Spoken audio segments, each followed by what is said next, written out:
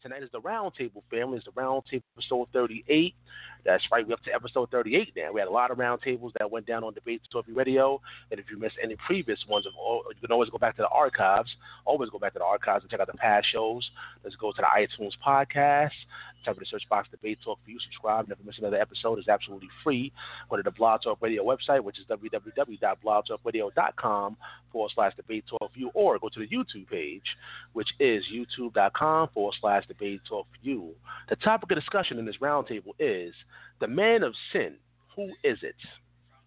Once again, today's discussion, the title of this discussion is The Man of Sin.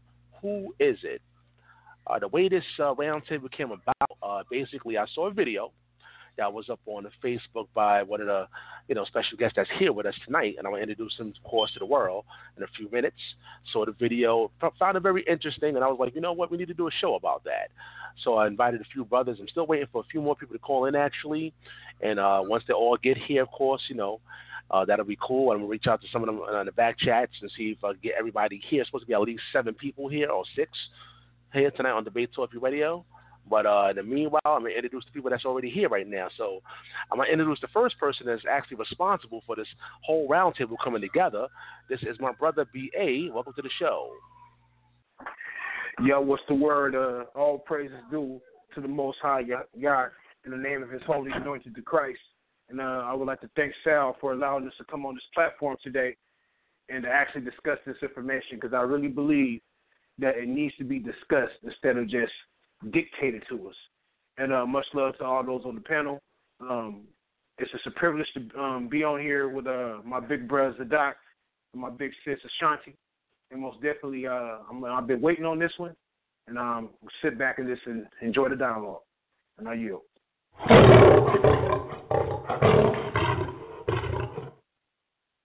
Right, listen up, BA. You know, listen, you don't come on the show a lot, man. You gotta let people know who you are, little brief bio, you know, let the people know what you do.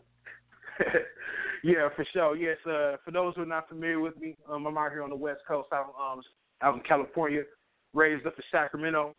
Uh, pretty much, I'm a member of the Nazarene Messianic Party uh, out here, and I'm out here in California. I, I, I'm not a teacher. I'm a student of the Word.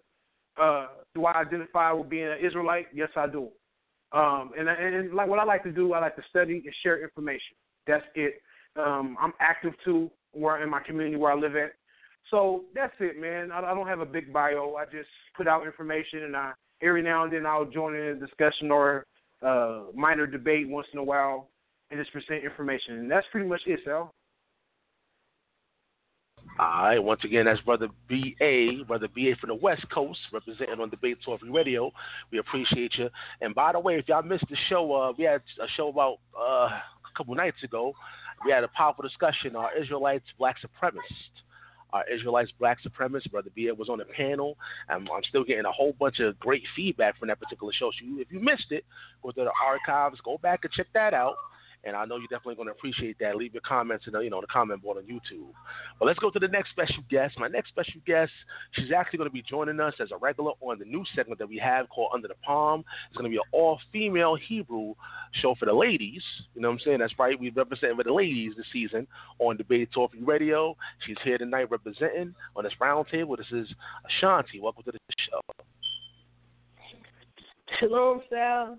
Shalom, everyone tuning in. Um, praise the Most High Yahweh, the Lord God of Israel, for this opportunity to be on discussing this this this matter with my with my humble brother Ba, my lovely brother Zadok. Uh, this is just going to be awesome and powerful. We hope people uh, are edified. We hope people are influenced and encouraged to go back and study, uh, spend some time with the Father, get that personal relationship, get get get get poked and prodded to actually search spiritually deep within um, to, to get some understanding so that we may properly uh, walk uh, this this Israelite faith. Um, that's what I have to say for now, Sal. Uh, a lot of people know me, not a lot, but just a few. But yeah, thank you for the introduction. Uh, I'm I'm out on the West Coast in California, um, in Sacramento as well. So I'm I'm looking forward to um, discussing this this matter.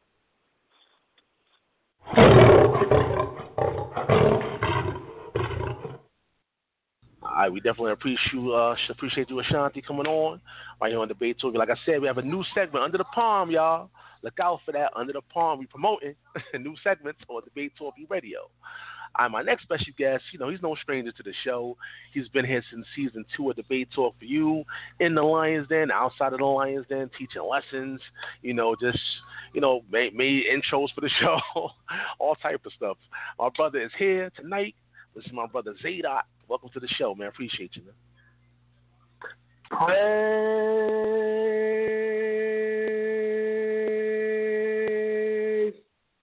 Yeah. What's poppin'? What's going on, man? What's going on? I, said I was waiting for you to break that record. Like you gonna go a minute with that prayer. yeah, he, he about to break his record tonight. But what's going on, man? Uh, let's do the. what's happening with you, brother? Oh man, praise the Most High God, man. All praise is due to the Most High God, man, Creator of the universe, Yahuwah, Yahweh, Yahweh, however cats want to argue about him. Noah hires though. Noah hires. If if if if if that rock hits you, I wasn't trying to miss you. Um, but yeah, man, you already know what it is, Sal. We doing what we do, man. It's your brothers Zadok Ben Israel, aka the God Hop MC, hashtag just a vessel nobody special. Supreme Sword Carter's on display tonight. Um, I got my brother BA here, and my little bro in the face, man, but he, he carry a heavy Carter blade. And Sister Ashanti, even though you're gonna put her on the women's segment, you know, so the sisters can get some shine, she giving dudes problems. Real talk. She giving dudes problems. So um, blessing to all my brethren out on the West Coast, and um, blessing to all the uh, regular debate talk for you, family, and blessings to you too, Sal. Man, you've been consistent over the years, man, and I just pray that uh, people don't take for granted what the Lord put on your heart to provide for the community, man.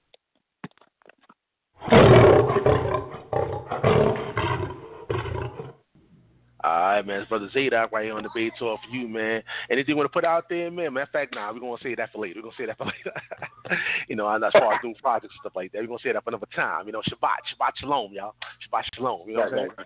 But let's go let's go to my other brother, uh, Ahmayan. He's from the West Coast, too. Got a lot of West Coast connections going on tonight on the Big Talking Radio. Ahmayan, welcome to the show, man. Hey, shalom, Sal. Shalom to all the uh, brothers, the sister online as well. I like to give all praises to the Most High God, Yahweh, his name in the Hebrew, which means I am, he is, and calls us to be. His first begotten Son, Hamashiach Yahweh Shai, Christ Jesus in the English, uh, and to all of the righteous forces that's protecting us as we continue to do the Most High's work. And as our brother Jude puts it in his book, for us to contend for the faith once delivered to the saints. I'd like to say uh, Shabbat Shalom to all the brothers and sisters that the sun is down in your area, and Shalom to all the listeners.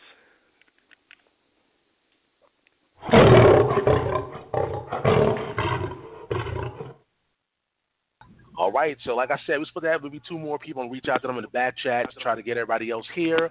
But in the meanwhile, let's get this thing started, fam. Let's get it started. Again, today's show is entitled "The Man of Sin." Who is it? Like I said, being that brother BA, you know, made the video, and what I'm going to do, I'm leave the video actually in the description box for those who don't, who didn't watch the video. I'm gonna leave it in the description box as well as all the information to all the special guests, so you can reach out to them once the show is over. But brother BA, I'm gonna let you start it off. Go ahead.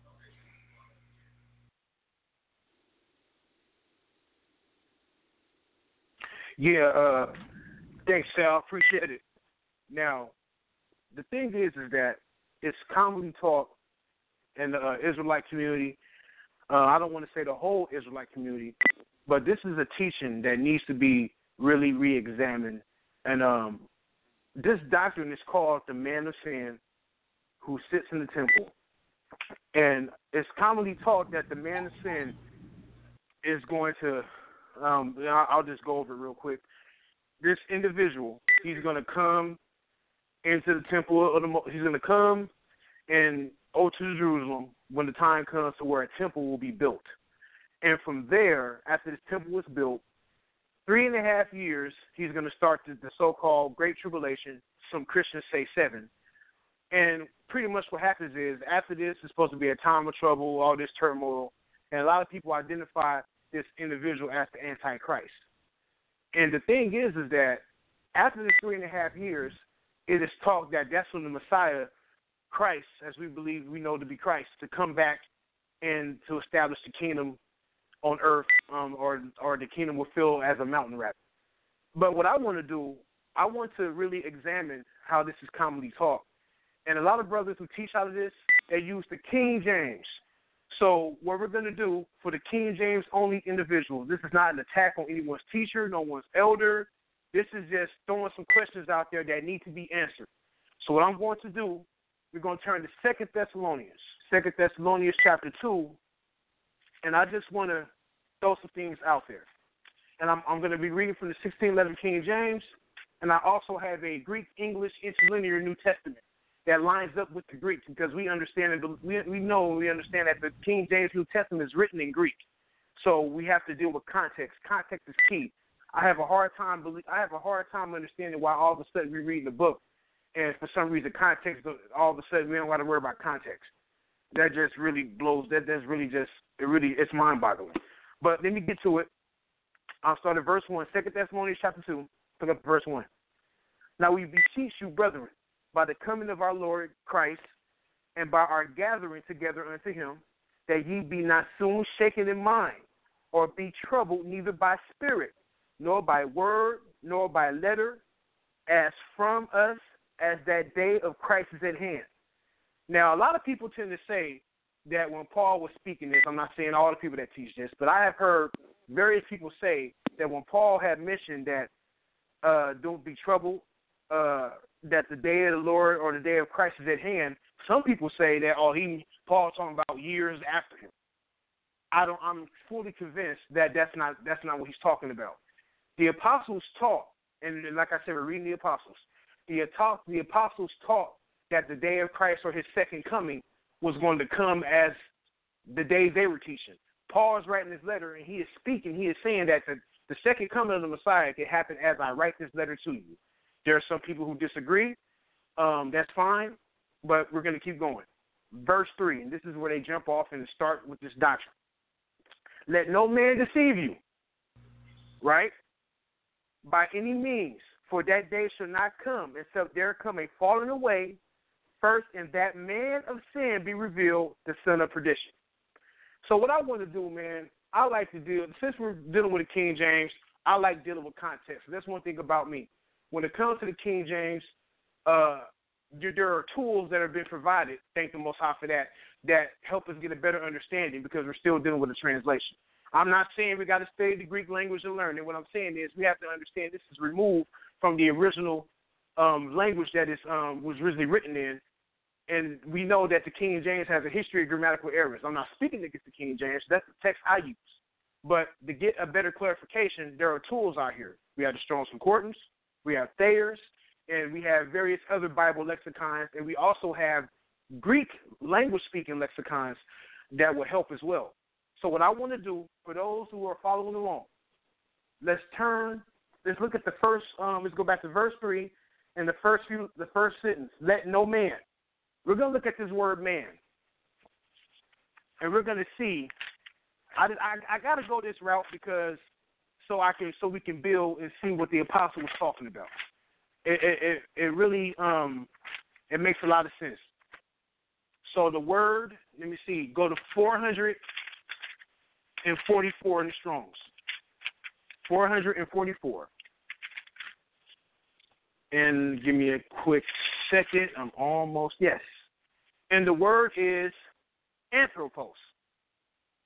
And this is what it means the um it could be a human being or also it says the definition anthropos is used generally of a human being, male or female, without reference to sex or nationality. Okay, so what Paul is saying here is that hey, let no one deceive you. Don't let your mom, your dad, your cousin, your sister, your niece, your nephew, nobody deceive you by any means, for that day should not come except there be there come a falling away first, and that man of sin be revealed, the son of perdition. So now what we got to do is look. All right, there's a falling away. Uh, a lot of people teach there's an apostasy. Uh, let's talk about the apostasy. A lot of a lot of teachings were going out around this time historically about what was uh, what was going on when it came to Christ, when it came to a second coming. Um, there was a lot of debates and arguments that Paul, Paul was dealing with a lot of individuals in this time. He was dealing with the Epicureans, the, the Sophists, various characters. So there was a lot of doctrine going on back then, just like now, a whole bunch of doctrine. So he's saying the falling away first. So that falling away got to happen first, and that man of sin be that man of sin be revealed, the son of perdition or the son of destruction. So we got right here the apostle is saying, he's saying, let no one deceive you. But this is all I'm going to do. I'm going to go to the uh, to the interlinear Greek real quick. Second Thessalonians chapter two, and I want to read it because this is a this is a what is it? It is a English interlinear New Testament, and it fits. It, it makes it makes per. I mean, it lines up with what Paul is trying to say, or what Paul is saying rather. And I'll read it. As to the coming of our Lord Jesus, and our being gathered together to Him, we beg you, brothers and sisters, not to be quickly shaken in mind or alarmed, either by spirit or by word or by letter, as though from us to the effect that the day of the Lord is already here. Wow. He said the day of the Lord is already here. This is so man, I mean, okay. Let's keep going. Verse three. Let no one deceive you in any way. Okay, now in the King James it said let no man deceive you. But in the Greek text it says let no one deceive you. So right here, this just lines up with the concordance. And if you don't believe me, you can check it in the Thayer's, and you can also check in the Intermediate Greek Lexicon written by Liddell and Scott. I, have done the research. If you don't believe me, you can look it up for yourself. So what we're going to do, verse 3, and go back to it. Let no one deceive you in any way, for that day will not come unless the rebellion comes first. This falling away, this uh, apostasy, this different type of, he said rebellion. So there's got to be a falling away. There's going to be something going on prior to the Most High, prior to Christ making his second coming. And it, and it also says, and that lawless one is revealed. This is what it says in the uh, Greek English interlinear New Testament. Now let's go to now let's read it again in, in the King James. And I apologize, I'm kind of nervous. My first time doing this on the debate talk with you. Uh, let's read verse three again. Let no man deceive you by any means, for that day should not come except there come a falling away first, and that man of sin be revealed. So what I want to do, I want to look up this word man, the second occurrence of man. It's very interesting uh, how um, what this word is in the Greek. And we're going to turn in the in the Strong's Concordance, and the number is 5100. That's 5100. 5100. And and we have it. It is, give me a quick second, lost my place. Okay. 5100, the word is tis. And it says an eclectic indefinite pronoun. Now, before I go, hold on, let me read one more. Some or any person or object. Let me just read some of the other other words they're using. Certain, some, any man, anyone, man, anything. Now, I just want to ask anybody on the panel, other than what I read, when you when you hear eclectic indefinite pronoun, what's your understanding on that? And I'll ask everybody. Anybody? All right, hold on. Let me open up the mic. I was hearing like a beeping sound. You heard that beeping sound earlier? Yeah, like I, I heard it earlier. Yeah. You had, to, you had to mute the mics, but let me open up everybody's mics again. Hold on, hold on. All right, Ashanti, you can start first. Um, well, just for me, beginning to learn biblical Greek, um, an, an enclitic um, pronoun, um, it usually has a word uh, preceding it, such as the word of or and or the, and it usually is uh, um, an enclitic pronoun. A pronoun could be anyone. You know, it, it's not a specified. It's not a specified male or female, man or woman. It could be anyone. And I yield. Anybody else? Uh, let's go with Ahmayan. Go ahead.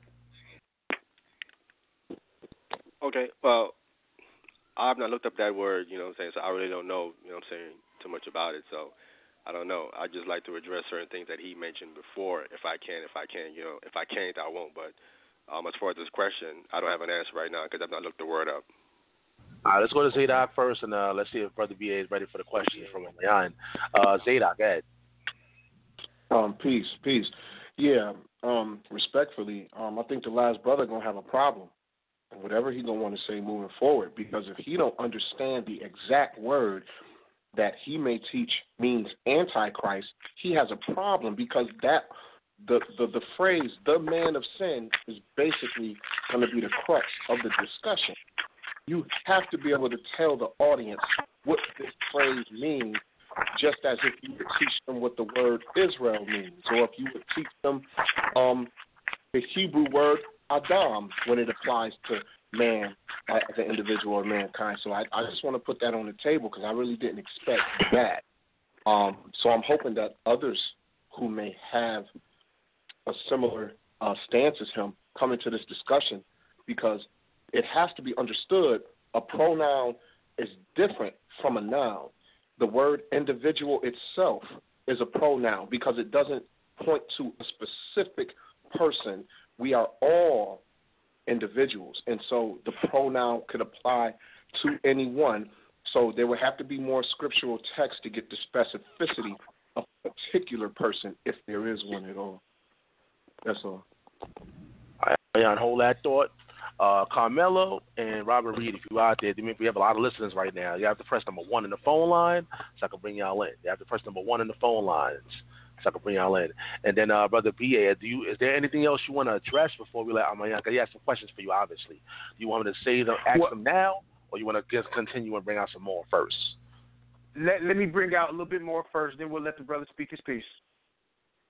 All right, that's continue. All right. All right. Now, I'm going to go to the Thayer's Greek lexicon. Though doesn't it, isn't it written? I think I think it's in the prophets where it says in the law and the prophets.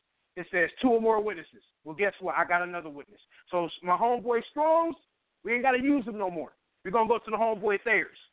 Check this out. The word is tis, indefinite, enclitic pronoun, bearing the same relation. Let me see. Um, a certain, a certain one use of persons and things concerning which the writer either cannot or would not speak more particularly. That's another witness. But I gotta go one more because if because I'm this is for the people. This is not about making anyone that teaches this look bad or support it.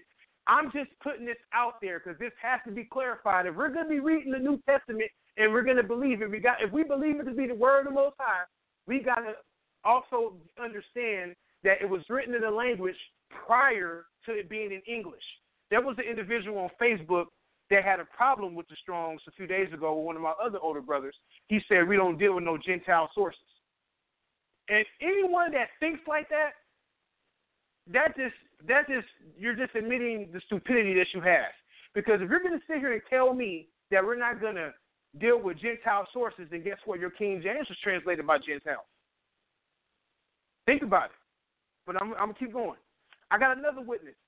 It's called an Intermediate Greek English Lexicon by Liddell and Scotts. Now, this is not a Bible lexicon. This is just a lexicon based on the Greek language. So, if I'm going to look up the look up the origins of a word in Greek, I rather deal with the person who knows the language, other than those that don't speak the language. You don't go oh, to a word service. Yeah, go ahead, sis. Yeah, may, may I ask them real quick about the Liddell and Scott? Um, just just yeah, just to add yeah. to what you were saying, as it's a credible source uh, of, of a lexicon, it is a classical Greek lexicon. Um, more so, first century A.D. The the actual definitions for the words that that uh, the New Testament was written in, the Koine or classical Greek, it's it's more attested by scholars, and it has the original definitions of the words um, for Greek between 1000 BC and 600 AD. So I just wanted to add that real quick. And this is a credible source. So I'm going to read the definition in a Greek language lexicon. Like I said earlier, if I'm going to get some understanding of the language I don't know, I'm going to go to the people who speak the language. I'm not going to go to anyone that speaks English that's not dealing with context. The word is tis. Again, we have it, indefinite pronoun. Any, anyone or anything, eclectic through all cases. All right, let's keep going. And um, And so now we understand when Paul said that man of sin be revealed, this is open to anybody. But it's commonly taught that is some Christians say Muslim, a lot of a lot of Hebrews who teach this, because I don't want to paint my brothers with one brush. Um, that's not my style, like others we know of. But still, the thing is, is that I just want to make sure that we understand that the man of sin is open to anyone, because the word translated to the, to, to, the the word that man was translated from is tis. That means it's an indefinite pronoun. So if Paul was talking about a specific person, he would not use the word tis while he was writing this in the Greek language, and we understand Paul to write. He spoke Greek, so if he spoke it, I'm pretty sure the man had enough sense to write it and knew what he was talking about when he wrote the letter. That's if we're gonna sit here and believe this word to be the true word of God. If it's the true word of God, the Most High is going to make sure that we have a proper understanding of what His prophets and apostles in Christ had revealed to us. All right. And it says that man is sin be revealed, the son of perdition, the son of destruction. Let's keep going.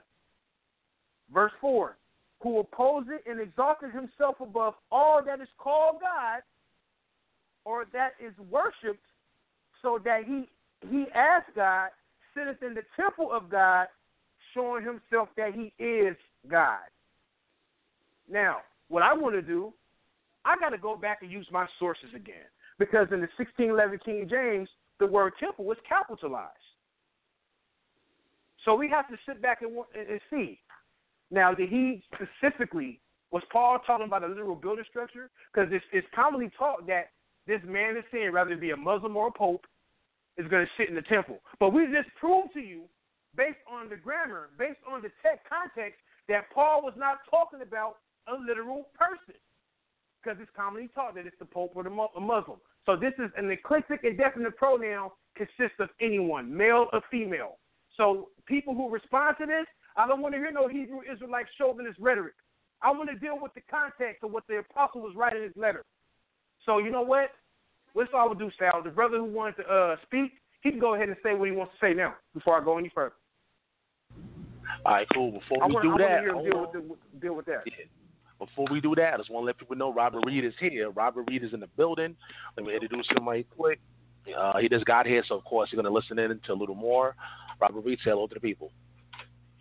Hey, how's it going, Sal, man? Appreciate you having me on. Can you hear me okay? You're loud and clear. You're loud and clear. All right. Hey, peace to all the brothers on the line. I appreciate it. I'm just I'm gonna listen in a little bit. You know, I don't want to jump in in the middle and just start running my mouth without you know hearing what everyone has to say. But I appreciate all the listeners for you know uh, just tuning in, and I appreciate Sal having me on the platform. All right, Robert Reed, we appreciate you. All right, Ahmayan. Go ahead, man. All right, thank you, Sal. The first thing I want to address is the brother is the brother is is saying that uh, the apostles is under some kind of impression that they were saying that how Christ can come in their time. Now, according to this Bible, there's certain things that have to happen before Christ come back, which the apostles know. I just want to read one of them in the book of Matthew, Matthew chapter 23, 24, sorry. I want to read verse 14. It says, And this gospel of the kingdom shall be preached in all the world for a witness unto all nations. And then shall the end come. At the time of Paul, the gospel was not preached unto all nations. They didn't reach everybody at that time. There is no way that they could be under some kind of understanding that he can come in their time when the gospel they was preaching didn't reach all nations. And Christ taught them this. Now let me show you where Christ taught his apostles and showed them the understanding of the Old Testament. They was not under no impression that he was coming back in their time. Okay, let me get the book of Luke, the 24th chapter. Luke chapter 24. I want to start at verse 44. It says, And he said unto them, These things, these are the words which I spake unto you while I was yet with you, that all things must be fulfilled which were written in the law of Moses and in the prophets and in the Psalms concerning me. Uh, then open he their understanding that they might understand the scriptures. It's the Old Testament. They understood the Old Testament and the prophecies in the Old Testament that precede Christ's coming. They was not under no impression that Christ was going to come in their time. Okay? So the gospel again was not preached unto all nations in, in, in the apostles' time.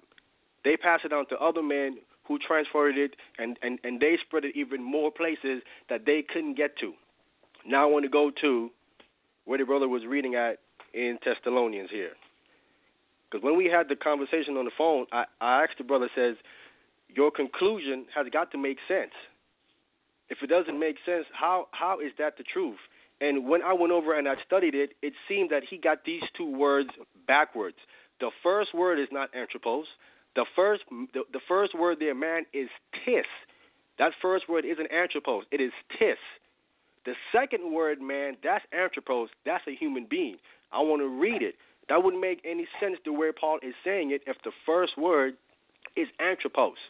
Because tis means anyone or whoever. That's what he's saying about being deceived. Don't let no one, anyone, nobody deceive you. That, that's who he's talking about. And then the second man is getting specific.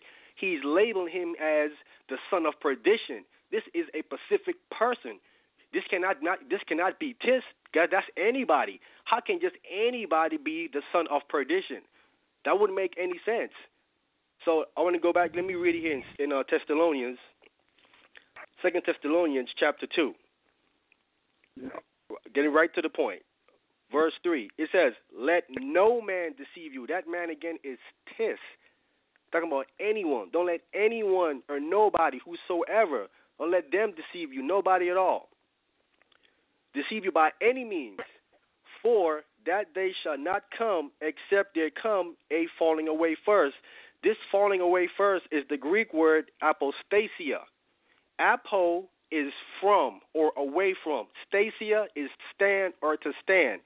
It is a stand away from or a, or in or in opposition to evil.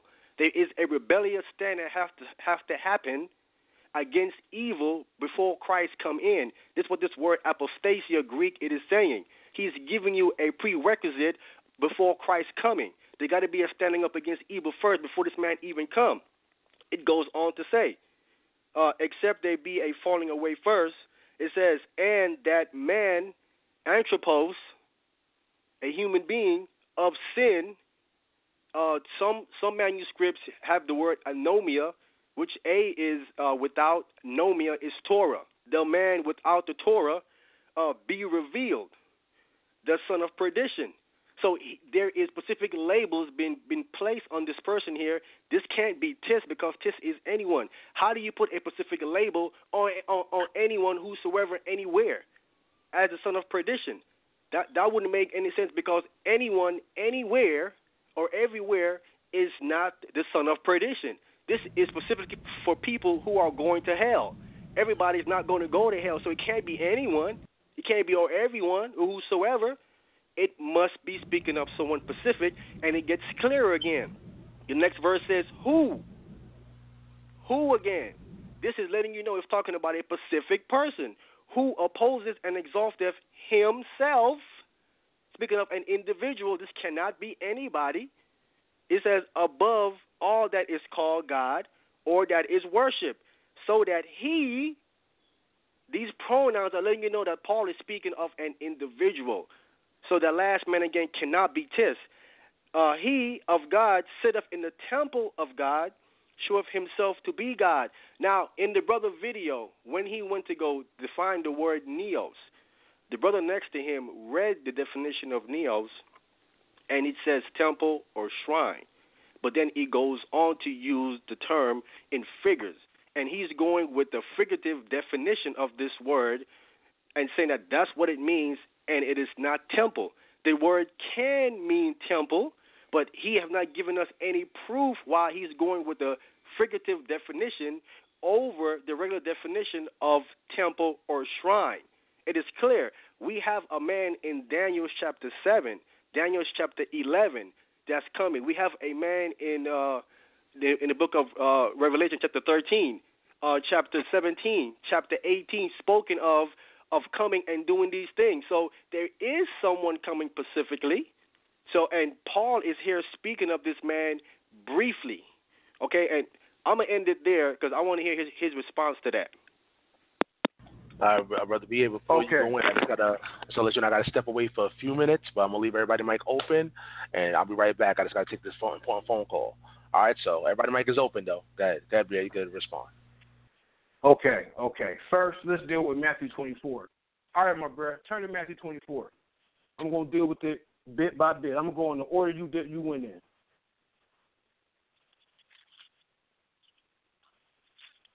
Let me know when you're there, bro. I'm there. All right. I need you to pick it up at verse. Let's see. Vic, read verse two. Read verse two and um, and read verse two and three. Verse 2 And Jesus said unto them, See ye not all these things?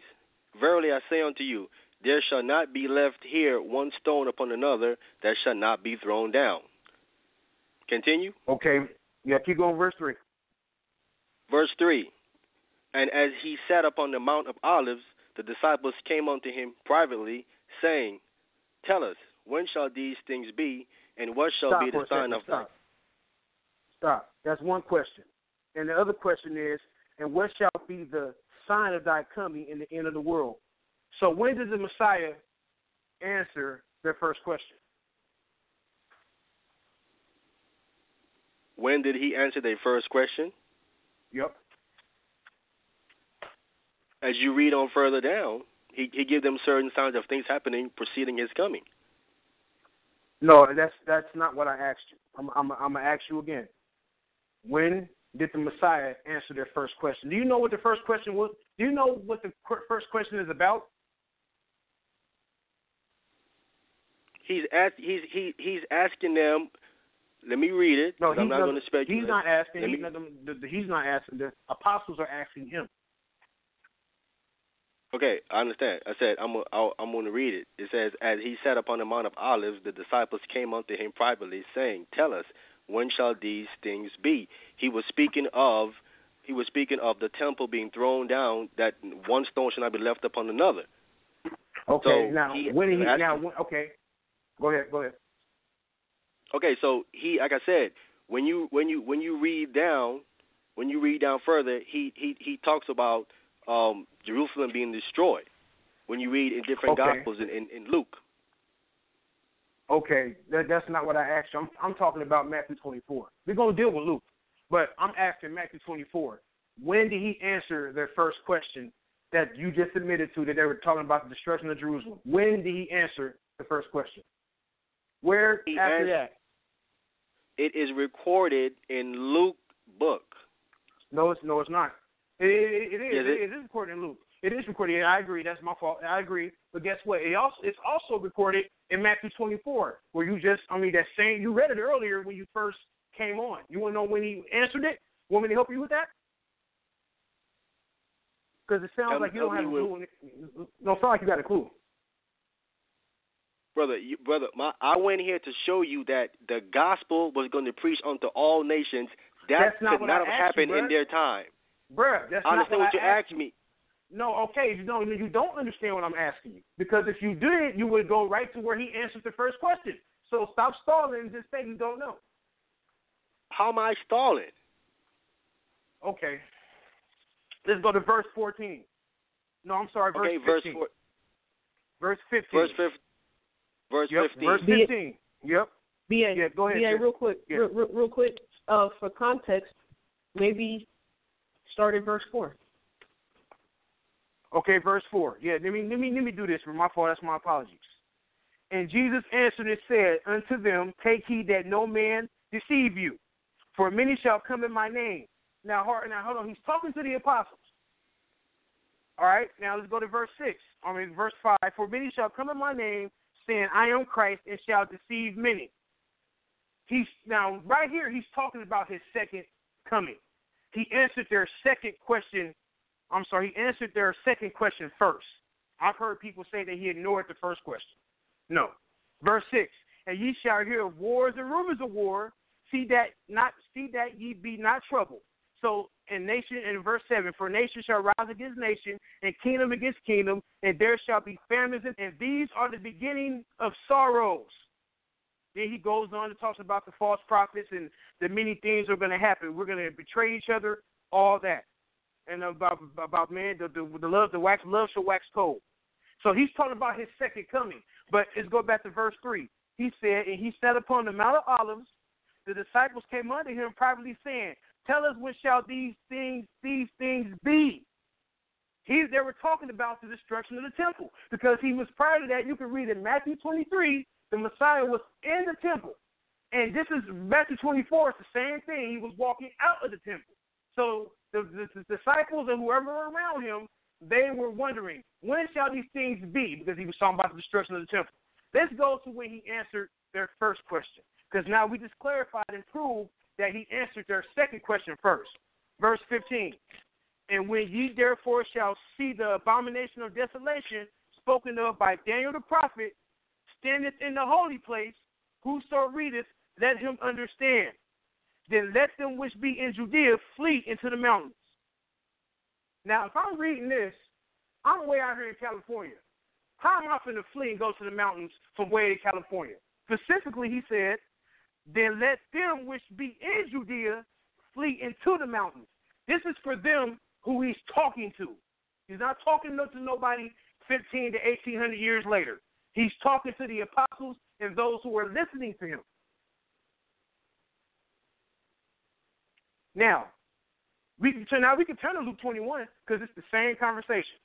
You, I mean, you, I mean, you want to do that, Brett? Or what's your response to that?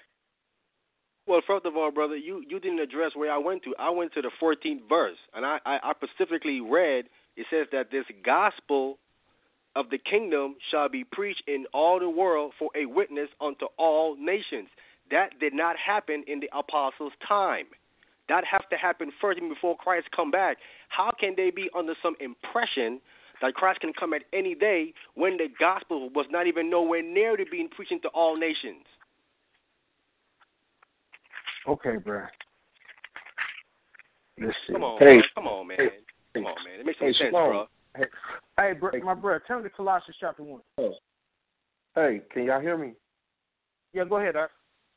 Hey, this is Brother Zadok. I just wanted to kind of push back on um on what that brother is saying there because it is actually it is actually written in the text. If we go to Colossians chapter one, Paul himself in his letter to the Colossians, and uh, I think it's uh, what uh, verse twenty three, he said, "If you continue in the faith and don't be moved away from the gospel um, that you have heard." Which was preached to every creature which is under heaven, where I of Paul am made a minister. Paul himself in his own letter said that the gospel had been preached to every creature under heaven. So in his day, the claim was that they had did the mission of what Christ demanded them. And remember, Paul came later. So he, that's why he said he was the least of the apostles, because the other apostles at least had 20 years together before he was officially a part of them, because it was 14 years before he even got to go visit Peter, John, James, and Andrew, because Barnabas came and introduced him. So when you look at Paul's letters, and then he says, look, um, uh, uh, uh, uh, we shall, um, when you in Thessalonians, he say, we shall not all sleep, but we shall all be changed at the last trump. Those who are dead shall, um, you know, those who are dead shall rise first. And then he said, and then those of us which are alive. So they had no true understanding of exactly when the Lord would come, but in the context of how they worked, they did believe that the gospel had been preached to all nations in their time. Paul himself said that. So I just want to kind of push back a little bit, and um, and you may have a different explanation for that, um, w- which I am definitely glad to hear.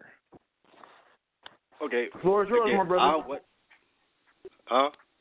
The floor is yours, my brother. Okay. Where in where? First of all, where in Colossian is it? Because what I'm gonna do is I'm gonna go look it up in the Greek. Because Okay. clearly, First 'cause- Colossians. I mean, I'm sorry. Colossians chapter one. okay, all right. Like I said, I I'll, I'll have to go look it up in the Greek to make sure that it was it was translated correctly. So I'm gonna go back and look it up. Second, of- second of all, is that where I read in the book of Luke 24 that they would that Christ opened their mind to understand the Old Testament, the scriptures. Okay, when you go into the Old Testament, into the scriptures, and specifically in the book of Daniel, the seventh chapter, it talks about four beasts coming out to sea. These four beasts coming out to sea have not came on the scene yet. These are beasts is in our future. They have not even came out of the sea yet. They have not Oh, even okay. showed their face. They have not even they have not even showed their face yet. And the apostles, as he said, he opened their mind to understand the scriptures, which were the Old Testament. So if they understand Daniel that these four beasts is supposed to come out of the earth first, and they have not even showed their face at all, none in in their time, again, how can they be oh, under oh. some impression that he's going to come in their time when you have four different kingdoms that got to come out of the earth that have not even came in their time at all? It's not even came in our time yet. Okay, okay. Let's stop first because you just pretty much butchered the prophets.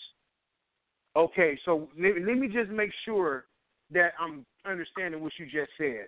The four BA? kingdoms that de- yeah, BA, yeah. if you would allow me, Ak, because Go he ahead, kind of ahead. was he kind of was addressing it instead of going to just instead of you should even brought that up, my uh, uh, uh, brother Yeah. uh, uh, I believe that's your name. You should have we would have we would have calmly waited for you to go get the Greek one Colossians one and twenty three. I don't know if you read Greek or whatever, but you could have read it just to see if Paul was saying what I just read. I mean, I got well, it wouldn't be my Septuagint, but I got a Hebrew Greek interlinear here. I also have a um I also have my King James, of course, and I got the new Oxford annotated Bible with the Apocrypha. So I have um I have some international I have some I have some sources here. We just went waited for that. When you go to Daniel seven, and in the same book, it actually tells you which each one of those four beasts were. Besides the fourth one, it actually names them.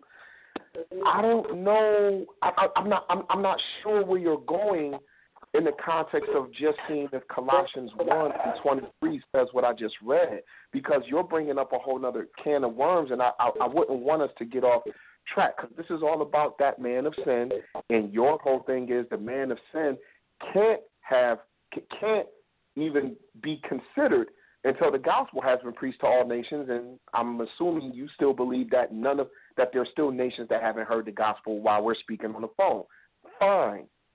Colossians 1 and 23 in the Greek is either going to say what I read or you're going to give us another translation. But to bring up Daniel 7 in the four beasts, which you say haven't even happened yet, which I totally disagree with, I think you're going to take us on another trajectory.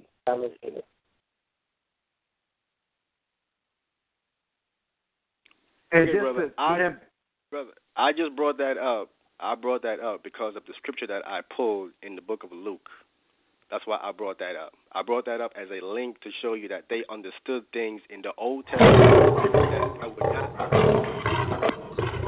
Right, just letting you know I'm back. I'm back. I'm back. But go ahead. Okay, Go ahead. Go ahead, Ahmayan. Okay, what I was saying is that the reason why I brought up Daniel is because I read the scripture in Luke that they had the understanding of the Old Testament.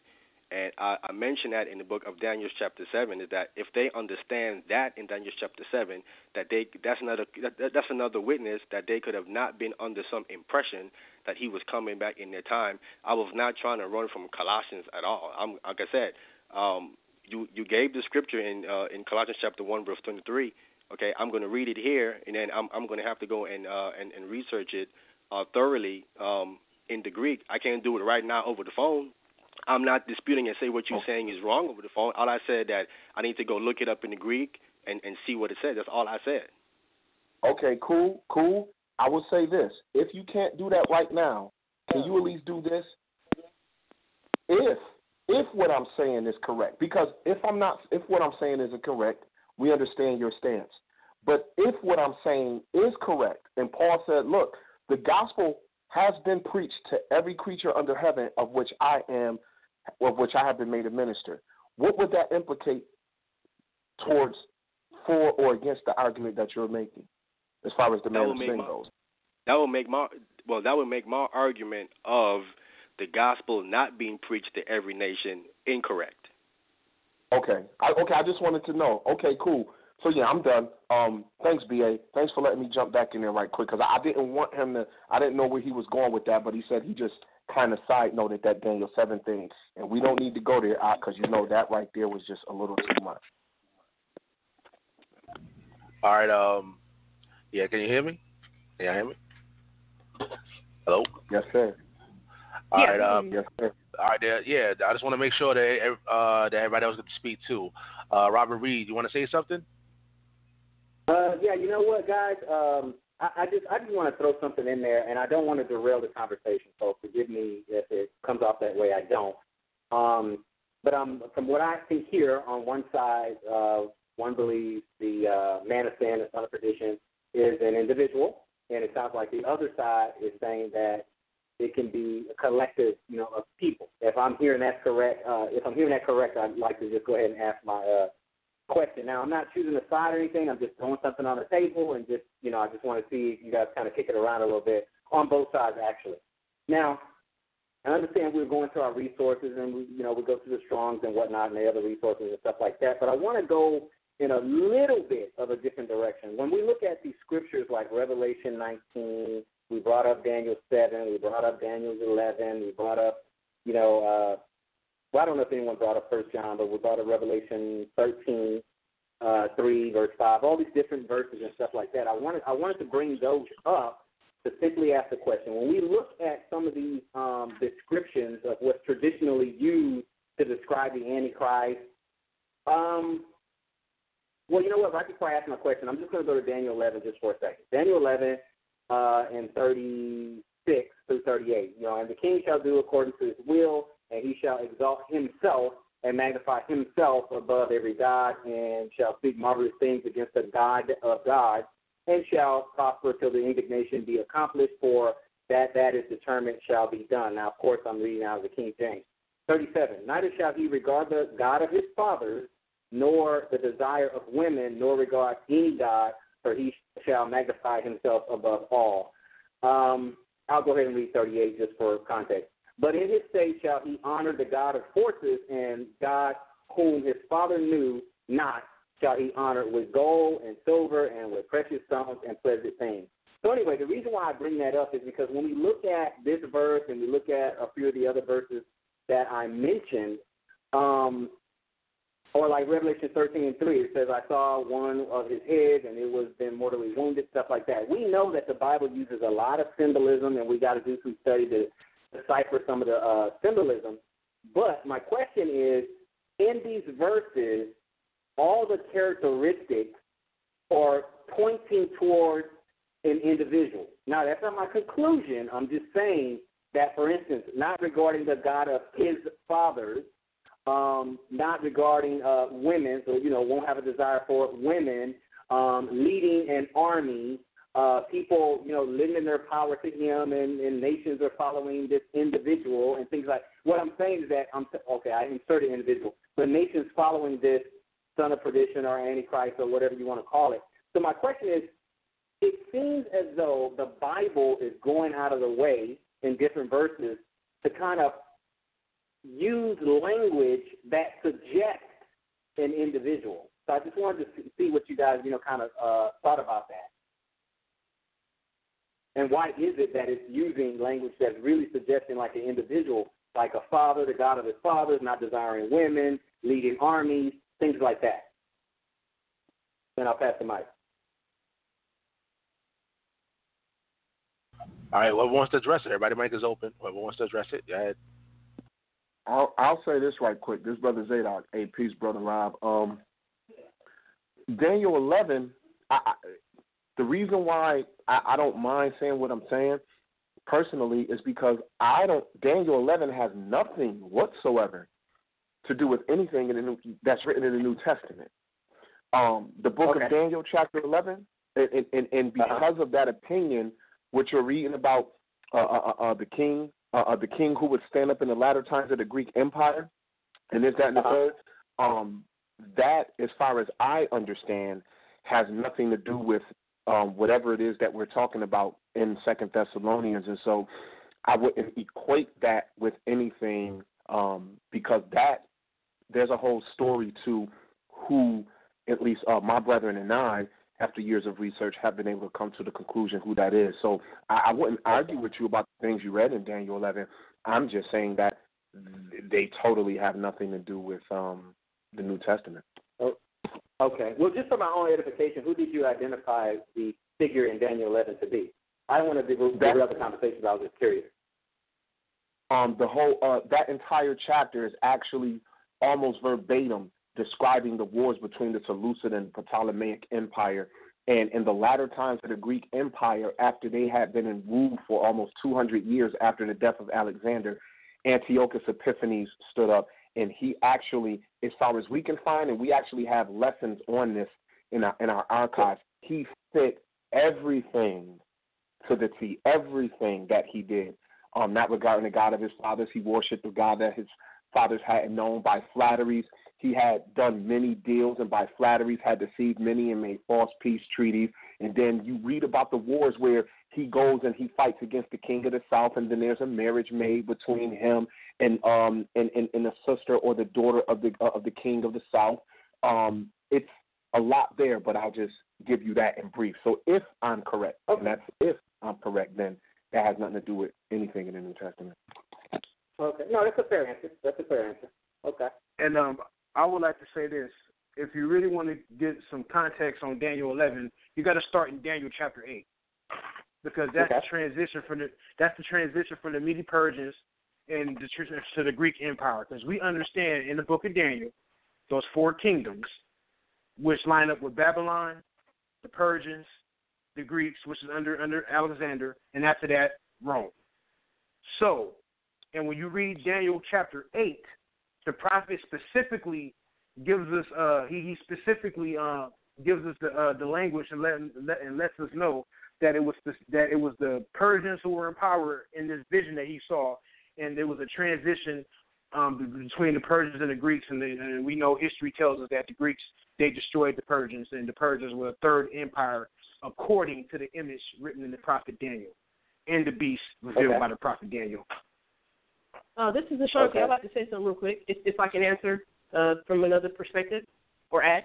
Sure. Um, the the Bible has a lot of what you call in the Greek word anthropomorphisms. Um, uh, this human attributes. It's, it's like human form. Um, we're dealing with spirit. God is a spirit. Elohim is a spirit. Yahweh, is the Lord God, is a spirit. Right. So there's many elements of the spirit. Spirit has masculine traits or aspects and feminine traits or aspects or elements to it. And you're right, there's a lot of uh, words in the Bible that are used for symbolism to mean other things, ultimately spirit, right? So, uh, uh, Israel. Israel is a group of people, right? But in Ezekiel 16, Israel is called the woman. Jerusalem is called the woman. Jerusalem is called the woman. So Jerusalem is a city and it's also called a woman. Now, in our mind, in, in, in our westernized mind, when we say man or woman, we all we always think of man or woman determined by their, you know, sexual reproductive organ parts.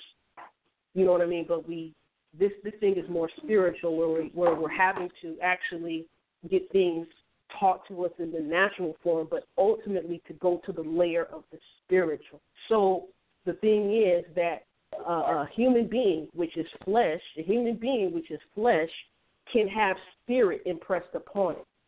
And when you have spirit pressed upon it, that spirit can drive that that spirit is an energy or force, right? That that that spirit, that energy or force could drive a, a, a human being to do all sorts of different elements, you know, because the spirit encompasses different elements. You know what I mean? Of attributes. So the thing is, I think sometimes we we we see the literal stuff, but I think we have to know that the Father says He gives us natural things in order to understand the spiritual things. This thing is is is, is spiritual. We have to get to that layer of the spiritual. I know I went on long there, but um, you're right. Um, in Revelation, there's a lot of symbolism but the Father has to give us natural words, and then we we gotta know we gotta go beyond those natural words to get to the spiritual. And I yield. Well, I well I agree. I agree with you um, that there's a lot of symbolism, um, especially in Revelation. I mean, I can certainly agree with you in that. Um, so, at the end of the day, are we saying, for instance, uh, because we, I'm just going to depart from Daniel right now and just go Revelation, for example, and just you know touch a couple of places like Revelation, you know, 13 and 3. Uh, you know, and I saw one of his heads, and it has been mortally wounded and his deadly wound was healed, and all the world marveled and sought after the beast. Now I know we know a lot of times beast is symbolism, you know, with governments and things like that. And then if we go, if we drop down to verse uh, 13 and 5, and he was giving them out speaking great things and blasphemies, and he was given authority to continue for 42 months, so on and so forth. Do we still relegate that to symbolism? So we're still not pointing to an individual. Is, is that what's going on here? Hey, I like to say this. Um, peace, brother Rob. Um, once again, it's not that it's not that it doesn't mean it's not that it's not literally explaining something, but it's all about what is it explaining. Like we have to we have to come to some kind of conclusion according to what we understand through the scripture and historical context on what it is. So I'll just tell you briefly. As far as the head that was wounded, and um and, and, and it was given the power to uh, uh, uh, uh, everything that you just described. Right. It's just as it's, it's just as this, bro. And what we have to be careful of is this: the nation of Israel was waiting for the prophet Elijah to come back, literally, literally. True. Yep. They asked John the Baptist, "Are you the Christ?" He said, "No."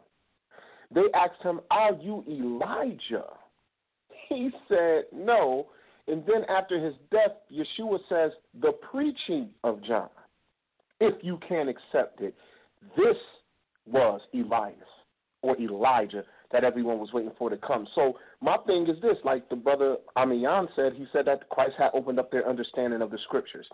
How many there are many Israelites today who still reject Christ and not only are uh, who reject Yeshua as Messiah, not only are they waiting for another one to pop up, but they still waiting for Elijah the prophet. So they've rejected Yeshua of Nazareth as being the true Messiah, and they rejected what he said. The Elijah who y'all been waiting for at the end of the book of Malachi, that one, the, the very last verse you read, the Lord shall send Elijah the prophet before the dreadful and coming up day of the Lord. Now, if Elijah the prophet was to come before the terrible day of the Lord, and Jesus said that the preaching of John was that, what are we looking for actually in the context of the man of sin? Are we looking for an individual who is the Pope? Every time a new Pope comes, when, John Paul II died, everyone was like, uh oh, uh oh, I think it's it. And here come Benedict. It was like, yo, do you know what his name means? Do you know what his history was? Everyone was Yep. on pins and needles. I know dudes who had their airplane tickets on standby to flee to the wilderness somewhere. And then Benedict retires, and here comes Francis, and now he the nice pope who cool and uh, a and, and, he'll bust a name for you, and and he talk friendly to gay people, and they're like, oh, now everyone's morals are down, and they're waiting. So my thing is, when we look at these things in Revelation or in the book of Daniel or whatever, the book of Daniel, as far as Daniel 11, Daniel's chapter 8 through 11, have nothing to do with the beast that had the seven heads and the ten horns, or the second beast that came up after it out of the earth, who had horns like a lamb and spake as a dragon, and who actually helped heal the wound on that particular head you're speaking of. It does mean something. We're not. I don't. I'm not saying, and I don't believe my brother or my sister are saying those don't literally mean something. But we can't do this. We can't take Daniel 7, Daniel 11, Revelation, whatever that chapter was, in Second Thessalonians and create a doctrine with them. And that's the danger of it. Well, I agree, I agree with it. I agree with it, and I understand that we have to, you know, re-examine tradition because obviously, when we came out of, you know, Christianity, we have pretty much re-examine everything that we've been taught. So you guys, you know, you guys know, you know that. So I, I know we do have to re-examine everything, but at the same time, when you take something away from someone, because you know uh, that we tradi- traditionally been taught you know, that hey, the Antichrist is going to be this guy, that guy. Some people thought it was going to be Obama. Some people, you know, you got the Pope, the papacy, I should say, because uh, you know it's one Pope after the other, so on and so forth. You know, some people thought Antichrist was Catholics. They thought Antichrist was, you know, Nero. And you know, we, you know, we've done the history, we've done that. But what I'm saying is, you take some, you take something away. You say, okay, it's not Nero, it's not the papacy, it's not Obama or whoever. It, it, it's not these people. Okay, that's fine. Now, what people start to do, and I'm asking, you know, uh, you know, from like the audience perspective, is like the the, the, the obligatory question is going to be, well, then who is it? Then who are we pointing to? Now, if some if people saying, okay, it is the spirit of Antichrist. Okay, it's not an individual person. It's the spirit that has come over everyone, you know, in their temple, in their body, you know, then that's Antichrist. But I haven't, unless I missed it, because I did get on the phone a little late, and I didn't, I didn't hear anyone say, yeah, okay, it's not a person at all. It is just the spirit that's coming over in the temple of your body um, that's influenced the world or whatever, or hey, the, the Antichrist has already came and gone, or he is yet to come. I just haven't heard any definitive answer. And I'm not trying to pin anyone to the wall, but I'm just saying if everything is up in the air, then this is almost like an exercise in futility. If we don't, you know, we don't say, okay, this is what it is, and this is why I'm saying it is. So far, all I've heard is, well, this is why it is not. That you know, that's all I've heard. And I'm, and again, I'm not, I'm not trying to be disrespectful or anything like that. It's just that I know people on the call when they walk away, if they walk away with no answer whatsoever, then they're like, well, okay, what just happened? You know, so that's what I'm saying. Okay, well then, what are we dealing with? I guess that's my question. What are we dealing with? Are we talking about an individual yet to come? He already came. Is it the spirit that's dwelling in us today? What What are we dealing with? And I'd just like to hear you guys answer on that.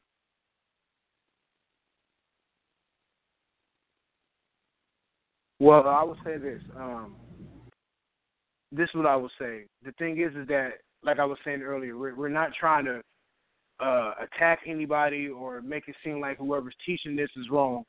We just think uh, we under I understand it, and I could probably speak for the rest of those who may believe this as well. Is that we understand this to be deeper than it just being a Muslim or a pope.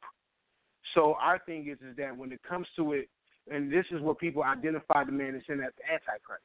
So uh, what I would do, um, I think my sis wanted to say something.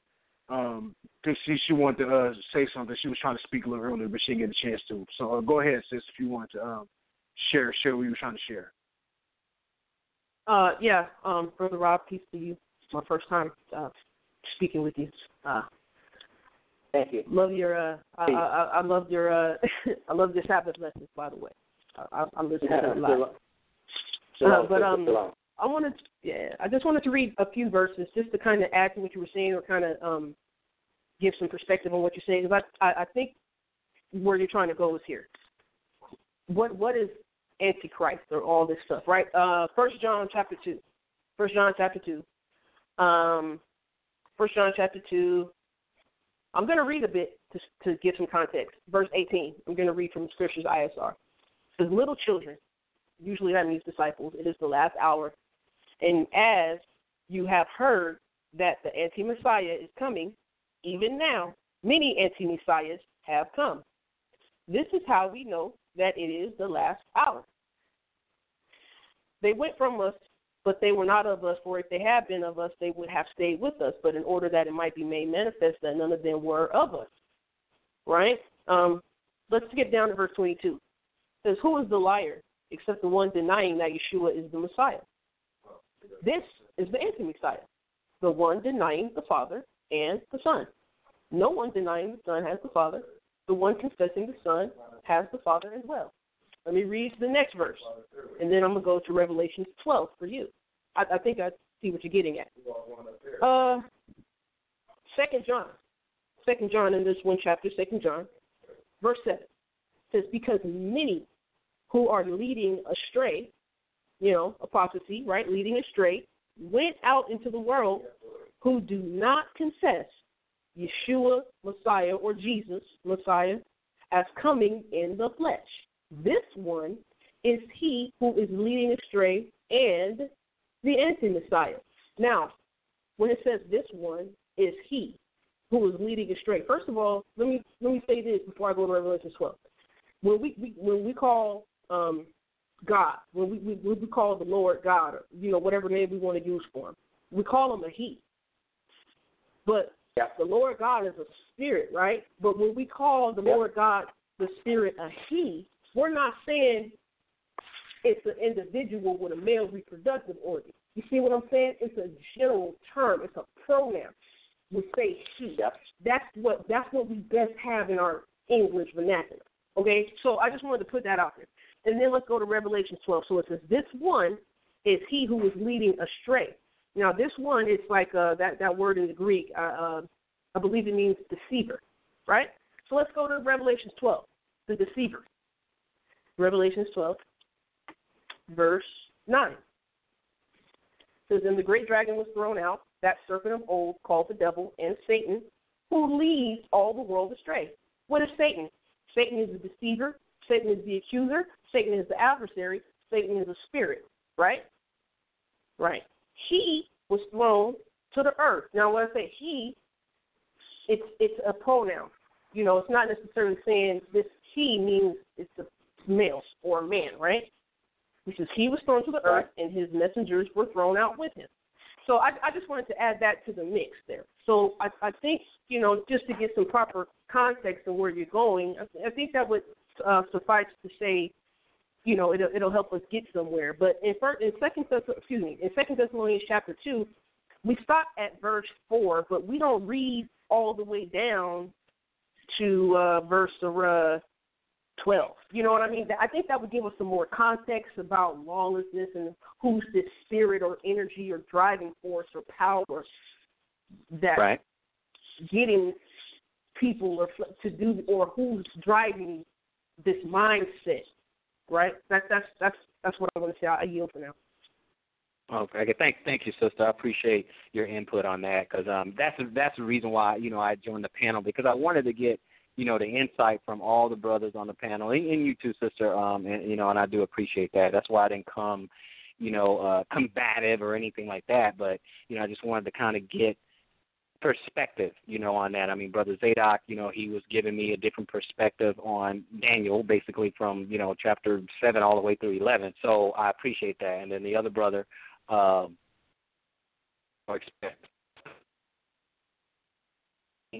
Yeah, just one thing. I just wanted to kind of get the panel's uh, perspective on it too.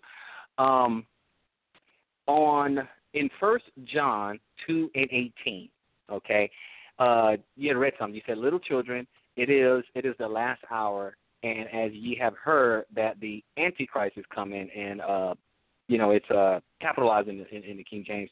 Antichrist is coming. Even now, many Antichrists, small a, have come, by which we know that it is the last hour. My point of bringing that part back up is that the the distinction was made in the context. It was saying, okay, well, there is the Antichrist, okay, something you know in particular the Antichrist, like as an individual in that case, and then as it goes on, even now many Antichrists, plural, so multiples, and I understand that any of us can be Antichrist. Anybody who's against Messiah is an Antichrist, so I, so I get that. But they made a distinction between the Antichrist and many Antichrists. So I was just wondering if someone can kind of help reconcile that understanding in First John two eighteen. You said First John two eighteen. Yes, sir.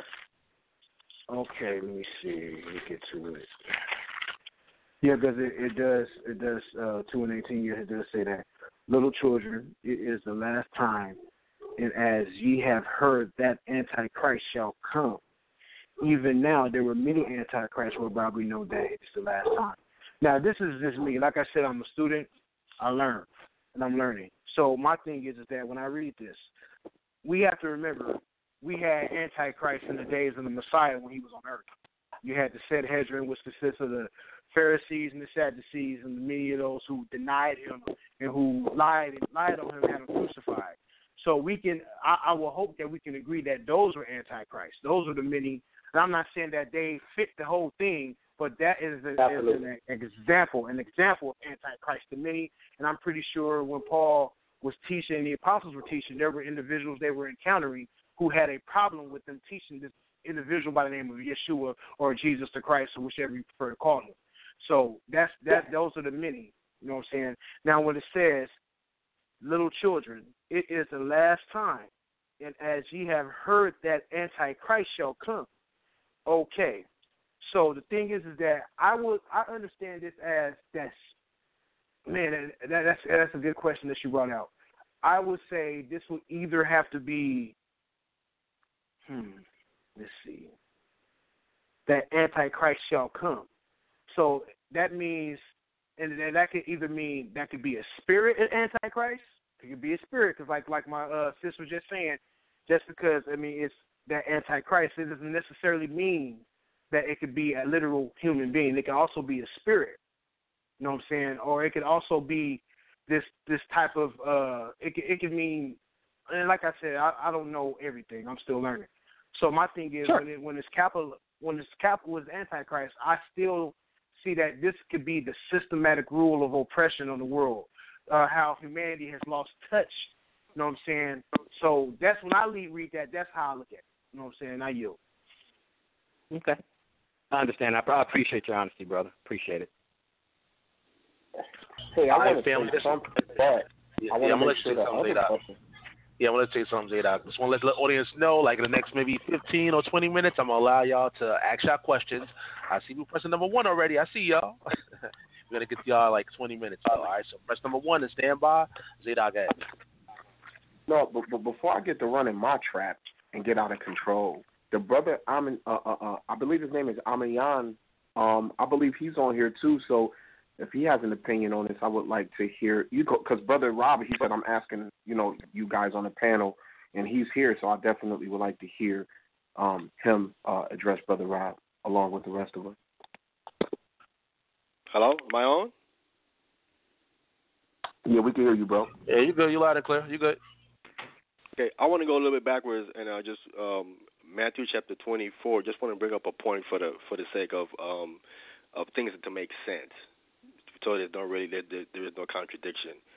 Matthew 24 verse 14, where I read, um, and this gospel of the kingdom shall be preached in all the world for a witness unto all nations, and then shall the end come. The brother Zadok went to first, I mean, went to Colossians 1:23 and said that this happened already if that happened already, as Christ says here in Matthew, he says, then shall the end come. So if that happened in the apostles' time, the end should have came. We are almost 2,000 years removed from that, and the end have not came yet. But Christ's word says that when that happened, it says, then shall the end come. So it, it kind of seems if if if Paul if what Paul is saying is correct, the end should have came according to what Christ says here in Matthew there is can be some kind of a contradiction or offset there that is that is not lining up with the words of Christ here in Matthew because the end didn't come if that actually happened. Okay, just I'm bringing out just to just to just to make sense of what the scriptures are saying, starting first with our Lord's words.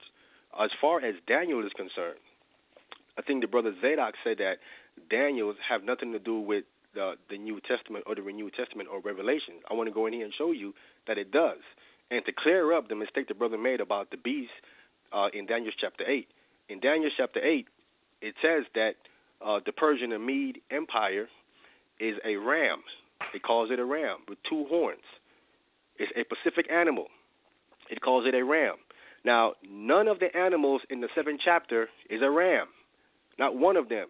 Now, the the the Bible uses these animals to, to identify nations.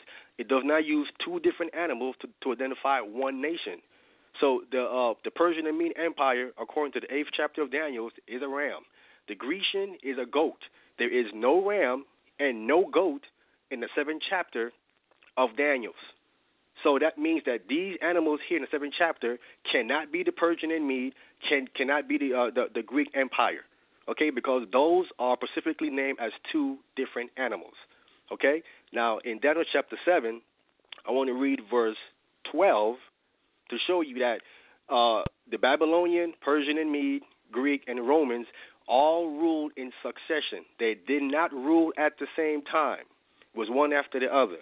Daniel chapter 7, verse 12 says, As concerning the rest of the beasts, they had their dominion taken away, yet their lives were prolonged for a season and a time. How can that be possible? How can their lives be prolonged for a season of their time if these nations, if these kingdoms in the past all ruled in succession. This is telling you that these beasts here was ruling on the earth all at the same time. So it cannot be those kingdoms in the past. It must be these four kingdoms that's going to rule at the same time on the earth, again, which I say has not happened.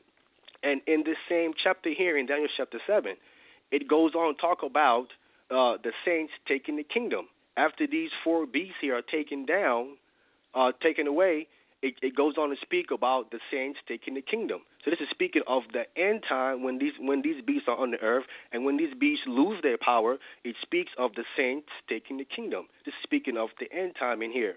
Okay, now I'm gonna show you where, again, Daniel chapter seven does link up with Revelations. When you look at the four beasts in Daniel chapter seven, when you look at the lion, the leopard, the bear, and the other uh, the other beast is not really mentioned. When you put those four beasts together, you get seven heads and ten horns. The exact same beast that is spoken of in the Revelations chapter 13. I'm going to read it. The, the second beast of Daniel, he has four heads, and the other three beasts make seven heads when you pull them all together. Now, let me read Daniel chapter 13 to show you, not Daniel, uh, not Daniel chapter 13, the book of Revelation chapter 13, verse 1. It speaks of all these four beasts accumulating in one animal. It's going to have all these animals here in this one beast. It says, And I stood upon the sand of the sea and saw a beast rise up out of the sea, having seven heads and ten horns. The last beast in Daniel's, he had ten horns on his head. When you put all those four beasts together, this is the beast that you're seeing here. It says, and it says, and upon his horn ten crowns, and upon his heads the name of blasphemy. And the beast which I saw was like unto a leopard. That's the second beast in Daniel chapter 7. It says, and his feet was like unto a bear. That's the second beast in Daniel chapter 7. I mean, that's the second beast. The leopard is the third beast. I made a mistake. It says, and his mouth as as and his mouth as the mouth of a lion. That's the first beast in Daniel chapter 7 is all those four beasts are being accumulated in one because the Antichrist, which comes out of the fourth beast, he conquers those other three nations and put them into one. This is what we are reading here in the book of Revelation, chapter 13. And it goes on to speak of this man here. And in the seventh verse, it says, And it was given unto him to make war with the saints and to overcome them and power was given unto him over all kinds and tongues and nations. In Daniel chapter 21, it says the exact same thing. Daniel chapter 21, I'm going to read it. Daniel chapter, Daniel chapter 7, verse 21 is what I mean to say. It said the same thing about this little horn. He does the same thing to uh, the saints of the Most High. Daniel chapter 7, verse 21. It says, And I beheld the same, and I beheld, and the same horn made war with the saints and prevailed against them. So he says it's the same thing here in the book of Revelation. So both of these things here link up together. And when you put it in a chronological order, the things are speaking here of a particular man making war with the saints, and this is the man that sits in the temple of God, saying that he is God, because in the 11th chapter of Daniel's, at the end of it, it says, verse 45, Daniel 11, verse 45 says, And he shall plant the tabernacles of his palace between the seas. That is the Mediterranean and uh, the Jordan. It says, In the glorious holy mountain, which is talking about the land of Jerusalem. It says, Yet he shall come to his end, and none, and none shall help him. So it's clear that he's going to set up a temple or his palace in Jerusalem. Obviously, this has not happened yet, that's why I'm saying this is our future. And I yield. Oh, okay. Oh, okay. Cool. Um, yo, not to be well. This is kind of funny, but you kept saying Daniels. It's it's just Daniel that um, that just kept bothering me. But I, I feel um I feel where you went. Um, I think you may have confused what was being said. That's why I, I was like, uh, you know, I wanted to hear what you had to say, at least on what Brother Rob was asking. But you went you went back to the very beginning, which is cool because you really hadn't spoke that much. I never said anything about Daniel seven not having anything to do with Revelation.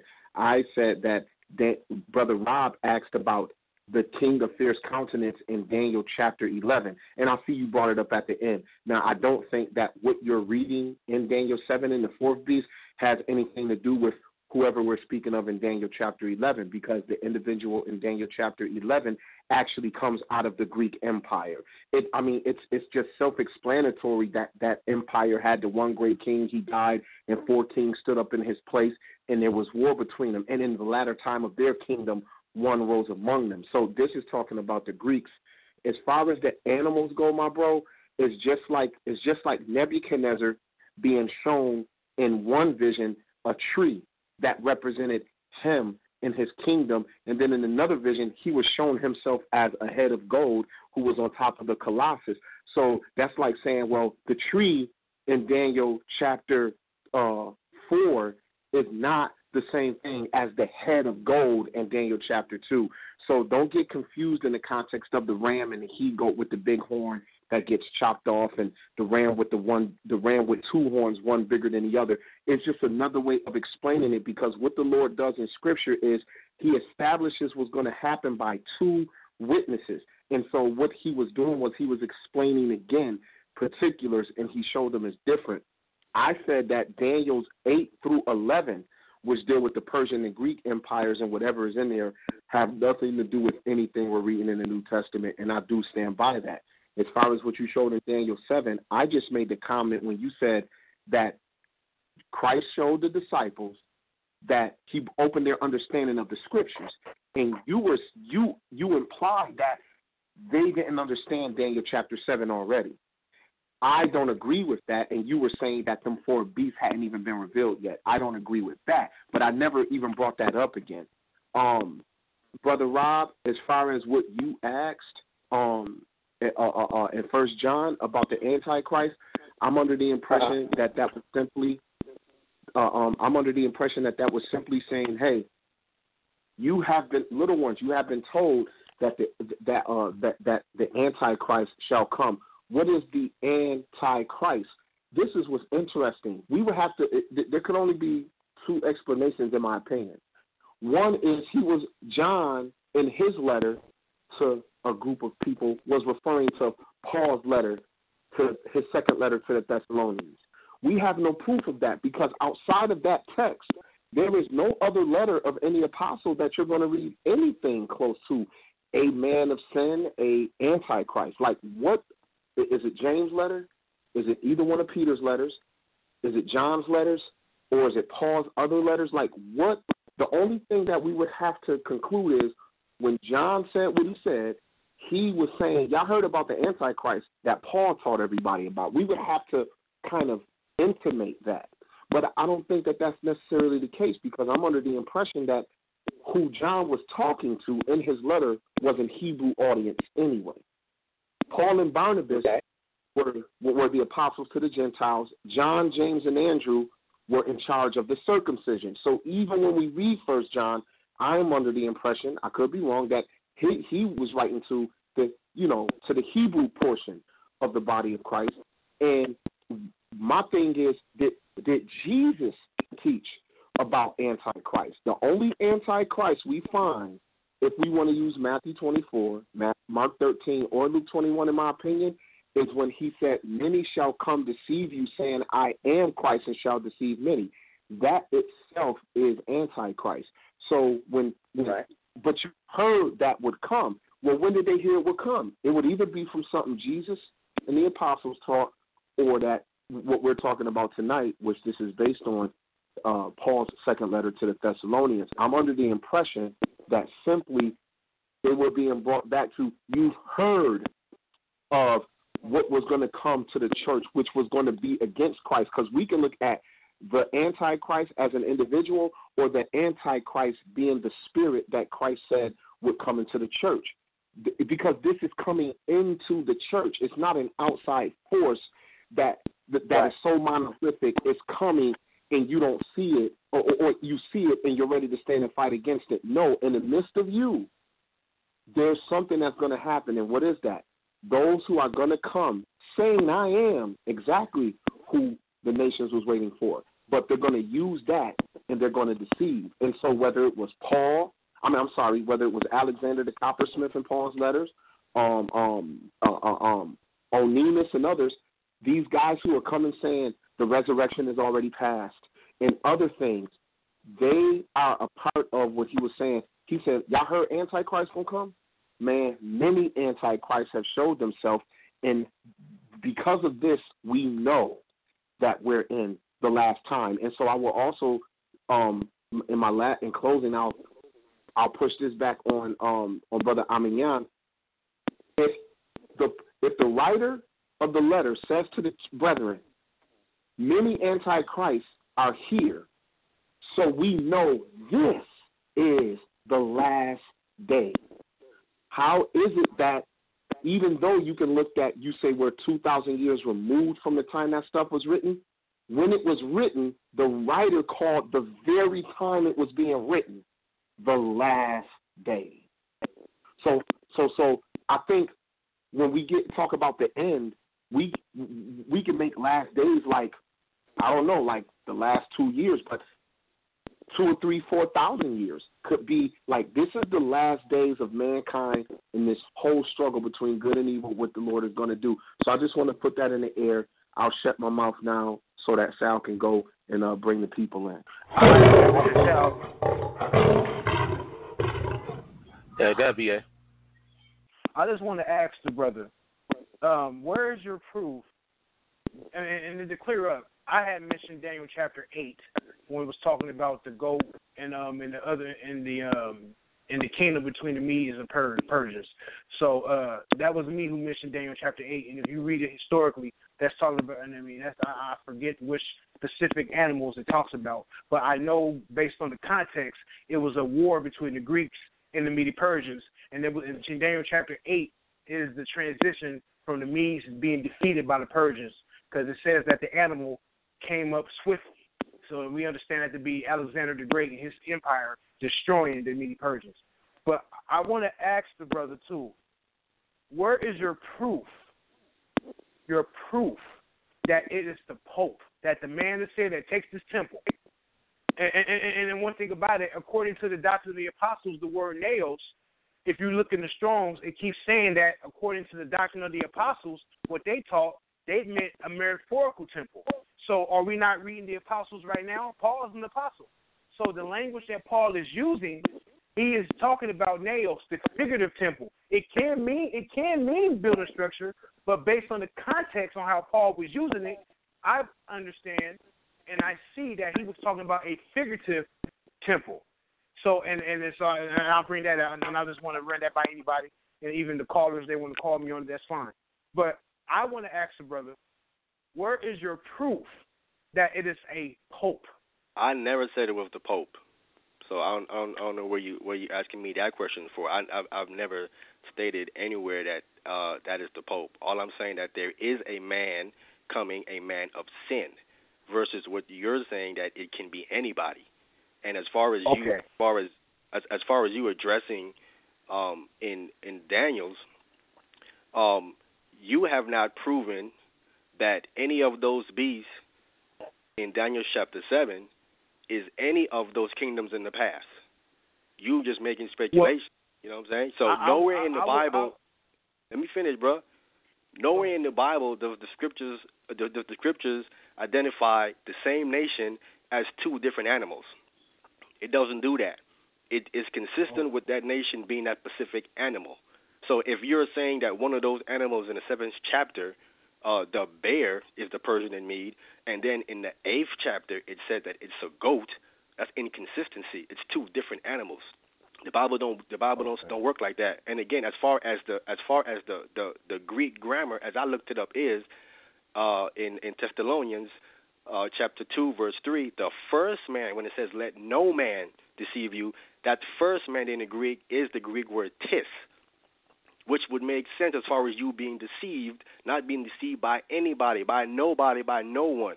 And the the second man in that verse, the man of sin, is the Greek word anthropos, which is talking about a human being. That's what I looked up. That's what it showed me that the first man, the Greek word is tis, and the second man, Greek word is anthropos.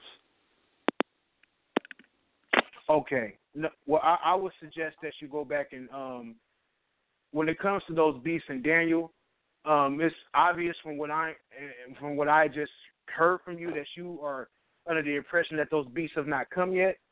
If you read in that same chapter, the prophet reveals that reveals those um those kingdoms, and um and and and, the no, thing is, is, is that where is it? No, he doesn't. Okay, Where is hold it on. All right, Yeah, hold, hold on, on, hold on, hold on, hold on, hold on, hold on. Yeah, let's, let's go through this thought. Yeah. That based based on hi- historically, historically, you know what I'm saying? Those kingdoms came because the first kingdom was uh, if you hold on first. I would I would suggest you go back and read Daniel chapter two before you jump into Daniel chapter seven. But my point is is that when it comes to the man, I mean, as it being an actual male, the word is four four two, anthropinos. Anthropos it consists of male and female, but you're saying that it's a man. So you're you're you're incorrect as well. I can admit to my mistakes, but you're incorrect as well. So if if if Paul was talking about an actual male, he would have used the word anthropinos, not anthropos. That's if he specifically was talking about a male with a private part. And you know what I mean. Now you. All right, Hey, I'm gonna, I just wanna- Ahmayan, I'm gonna let you respond, Ahmayan, and uh, I'm gonna let Shanti respond too. And then we gotta go to the audience. We gotta get some audience time. Okay, whoever's speaking, guys. Hey Sal, Okay. no, I just wanted to say to the brother Ahmayan that I think I think that it would do him well to be careful to say what the Bible doesn't do. Even God's own nation is referred to as a son and as a wife. So is is, is it one or is it the other? In Daniel chapter two, Babylon is talked about as the, the Grecian Empire is shown as silver or brass, and then in another text is described as an animal you just got to be careful in saying that the Bible wouldn't take the kingdom and it wouldn't describe it as um as two different animals because um the implication is is that the Lord only speaks it one way, but the Lord usually does things in pairs because as Paul said in Second Corinthians chapter three, he said, This third time am I writing unto you, as it is written, let every word be established by two or three witnesses. So the Lord in Daniel said what he said about the nations twice. And I think you might be missing that because he had to establish it the same way that Pharaoh had two dreams. One dream was corn, and another dream was cows. But both dreams meant what? The Lord was establishing. And Joseph told Pharaoh that this was done twice, but it showed up two different ways. The Lord is establishing that this is going to happen. So the scripture does always do that. And I just wanted you to be careful in saying that the Lord wouldn't show one kingdom to be two different things, but yet be talking about that same one thing. The scripture does that over and over again. I just wanted to share that. If you don't accept it, that's cool, but I just wanted to share that. Okay, what? Okay, well, let me say what I said because I didn't say what you said just now. What I said was that the Bible don't call the same nation by two different animals. I'm talking about animals here. You're talking about something totally different that I never mentioned. Okay, if I'm wrong, go into the Bible and show me where it speaks of that same nation and called that same nation by two different animals. Now, here in Daniel chapter 7, when you read the first verse, it says, In the first year of Belshazzar, the king of Babylon, he is the last king of the Babylonians. Okay? That means that Nebuchadnezzar has been dead long time ago. He's been dead. Now, when you read on down, it says that these beasts was was coming out of the water, coming out meaning they're coming up. Why in the why in the reign of Belshazzar is talking about these beasts coming up when Nebuchadnezzar, the the the, the first king of Babylon, have been dead for over 50 years? Can't be talking about him because he's been dead. He can't be that first that first that that lion, that first animal, because he talks about this animal coming up, not being dead already. So that that immediately eliminates Nebuchadnezzar immediately. Again, and when you read, when I don't have time to go over every single beast, but I can go into every single beast uh, here in Daniel chapter seven, and what it says about them, it absolutely fit nothing of the Babylonians, Persian and Medes, Grecians, or Roman Empire. Don't fit none of them whatsoever. Okay? And again, I already read here in Daniel chapter 7, verse 12, which no one has addressed. It says, As concerning the rest of the beasts, they had their dominion taken away, yet their lives were prolonged for a season and a time. How can their lives be prolonged for a season and a time when these kingdoms in the past ruled consecutively? These beasts here are ruling at the same time. That's why their dominion was taken away, but their lives, all the, the, the last three, was prolonged for a season and a time. How can their lives be prolonged for a season of their time if the kingdoms in the past ruled consecutively? It, that doesn't make any sense whatsoever. Their lives could not be prolonged because they ruled consecutively. Hey, bro, you said no one answered the question. You're actually reading a text where two of the nations, Daniel was in, Daniel, the other three nations ain't even been revealed yet. That was the Daniel said that he had that vision during the reign of Belshazzar, my brother. Persia, Greece, and Rome haven't even haven't even come on. Well, Persia exists, but it hasn't taken over yet, and Greece and Rome doesn't even exist. So when Daniel is being shown these visions, he he's being shown where he's at and what's to come. That's the. I mean, that's so simple. I uh, Zadok. uh, hold that, Zadok. hold, hold that thought, hold, hold that thought, man. We got, we got, we got to let Ashanti say something. We got, we got to get the audience some time. Write it down, though. Write it down. We got, we got an hour and eight, we got an hour and eight minutes to address whatever we, go, you know, whatever we need to address. Again, the number is three one nine five two seven six two three nine. Shanti, and then the audience. That's Shanti. All right, real quick, um, real quick. I think we're getting um, the the Greek words misconstrued here a little bit. Um, the word for son um, in the Greek in Second, Thessalonians chapter three, we're talking about the son of perdition. Um, it's a Greek G five two zero seven, and it's uh, huios, right? And in the context there, it means descendant. Okay, it, it means descendant, or um, what is it here? Let me let me let me read it to you. A descendant. It, it means uh, it's it's used widely of immediate, remote, or figurative kinship, like a child. You know how sometimes it says Bnei Israel. It doesn't necessarily mean males of Israel, but it also can mean children of Israel, right? So, and, and, and it's also used of, of animals. That word there. So when you said it's specifically a male with a male reproductive organ, that word son of perdition there, that son is not necessarily saying it's specifically a male, M A L E. And like Brother BA said, um, he, he read the other Greek words that mean specifically male and specifically man. Those are not in second those are not in Second Thessalonians chapter three. But I want to read something um, here. Uh, First Corinthians. Let me not read it. First Corinthians three and First Corinthians six. Um, Paul says, "Don't you know that your body is the temple, and the temple is flesh, and our flesh houses spirit." Okay, I think we need to keep that in mind. When when Yeshua or Jesus roamed the earth, he was fleshly, but he was spirit made flesh. You know what I mean? So we have to understand these things and to go back. Elohim is a spirit. Male and female are humankind or human beings. Human being was made in the image and likeness of the spirit, which is God. So I think you got to understand those things. So I, I, I yield. Uh, bring the people in.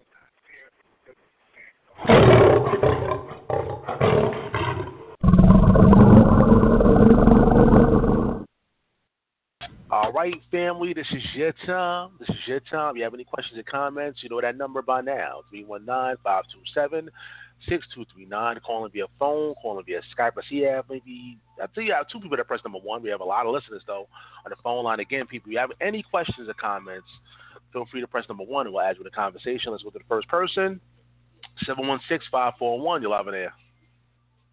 Thank you for taking my call.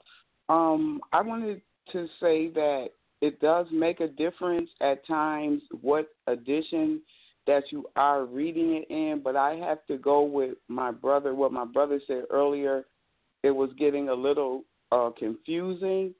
We should let the Bible speak for itself. Now, if in the American Standard Version they say the the man of, of lawlessness or the lawless one, but when Paul speaks of it, he says the son of perdition. And we can read that in John 17 um, and 12, and it says, While I was with them in the world, I kept them in my name. Those that gave me, I have kept, and none of them is lost but the son of perdition, that the scriptures might be fulfilled. And I have to agree with the brother that the son of perdition is is not a system. It, it is a person. It is a man. And we read that in Genesis three and fifteen when it talks about the seed of the of of, of, of the of the woman and um, the seed of the devil. So it, it is not a system. It is definitely a, a, a person, and it is the Antichrist. But what he does is give his power to those people that you were back and forth arguing with, those federations, you know. But he just sits back. But it's the Antichrist, like he said, the Antichrist was working in Christ's days. But the one, the son of perdition in this book, he is a man, and he is the seed of that woman. And the only place I read it's twice about the son of perdition, and, and Jesus talks about it when he refers to Judas as the son of perdition. And the scripture also says that Judas went to his place. Now, where is his place? Is his place hell? It's a man. It's not a system. Thank you. I, I would uh, just like to respond. Good, good, good. Um, if, if if you were listening to what my sister my sister Shani when she was displaying the word son in the Greek, it's not a spec- it says descendant.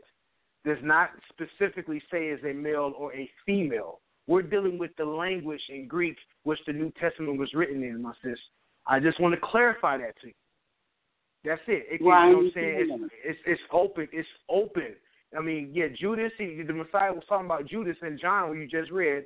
But guess what? Paul is not talking about the the word also can is open to female as well. It means descendant are not men and female descendants. Okay, but but That's, but not in that con- but in the context of John, it, it's not what you're talking about. It's in its context. It's already in its context. But the word means descendant. It can be male or female. So when the Messiah was talking about that son of perdition, yes, he was talking about that that word son. Yes, it could it could be male. So in properly, he's talking about Judas because we understand Judas to be the son of perdition at that time. We're talking about Paul. Now we're dealing with context again. The, the word okay, son. But, okay, but but have you ever have you ever heard of? uh You said at that time. So therefore, we we we've not seen another. Am I correct? No, we um have we not seen another yet? We yeah, there's plenty of yeah, plenty of sons of perdition. There's plenty of them. No, no, those that no, speak, no, those who speak against the Messiah is the son of destruction. The scripture said that Judas went to his place. Explain that to me. He went to the he went to the grave. That's what hell means, grave. Can you? That's what it means. He's dead. There's no there's no proof that there's a place called hell with a guy with horns and fire. You can't biblically prove that. I, I, Hell just I, means the grave. I didn't say that. I did not say that. Okay. I okay. Then he that. went to his he went to his place. Where is his place at? His place is in hell. Of the grave. Sheol. Right. I was. I'm not quite familiar with that term. I mean, is that the Hebrew term for for the grave, or is that Hebrew? But, well, yes, it, it says it in the Bible. It don't give you the. It says Sheol. It don't give you the English. It says Sheol. Okay, then I will. I will understand that to be the grave. All right, well, that's where. Uh, that's what I'm saying. It, it, it's a. It's a. It's it's it's it's a man. It's not a system. It's it's it's going to be a man. In Genesis three and fifteen, it tells you that. Christ was born of a Virgin Mary through the Holy Spirit. Son of perdition gonna be born through a woman, seed of a woman. God. What is I, he? I would I, I I would just say I I think you have lost. I think you don't understand the point I'm making, but I yield. Well, no, it, it, you have not proven that it's it's um it's not a one individual. You have not proven that. Hey, I, hey, I, hey, if don't, sis, sis, if you don't understand it, that's on you. I just heard, I just went through a whole it's not thing. fair. to- It's not fair for you to tell me that I don't that I don't understand. I, I, it's your job to make me understand. No, I, Hey, it's not my uh, job to make you maybe I- believe anything. hey, hey, hey, maybe I can help. Um, um, bless you, sister. Um, I, I, I wanted to share the the, the, the the concept of the son of. Okay. Is anyone on? My phone is. I can't Hello. hear. Hello. Hello. Yeah, I'm here. Uh, I can't hear anyone. Hello. Yeah, I, I'm here. Yeah, we're still Val? on. I think something's going on maybe with the debate talk for you. I think we got to find Sal. Well, I think, I think it's something wrong with the debate talk for you uh, radio Yeah, show I, I, line. Yeah, I think something happened. okay, but where we, um, um, we can still go. my my my, Yeah, my just- thing, sis, is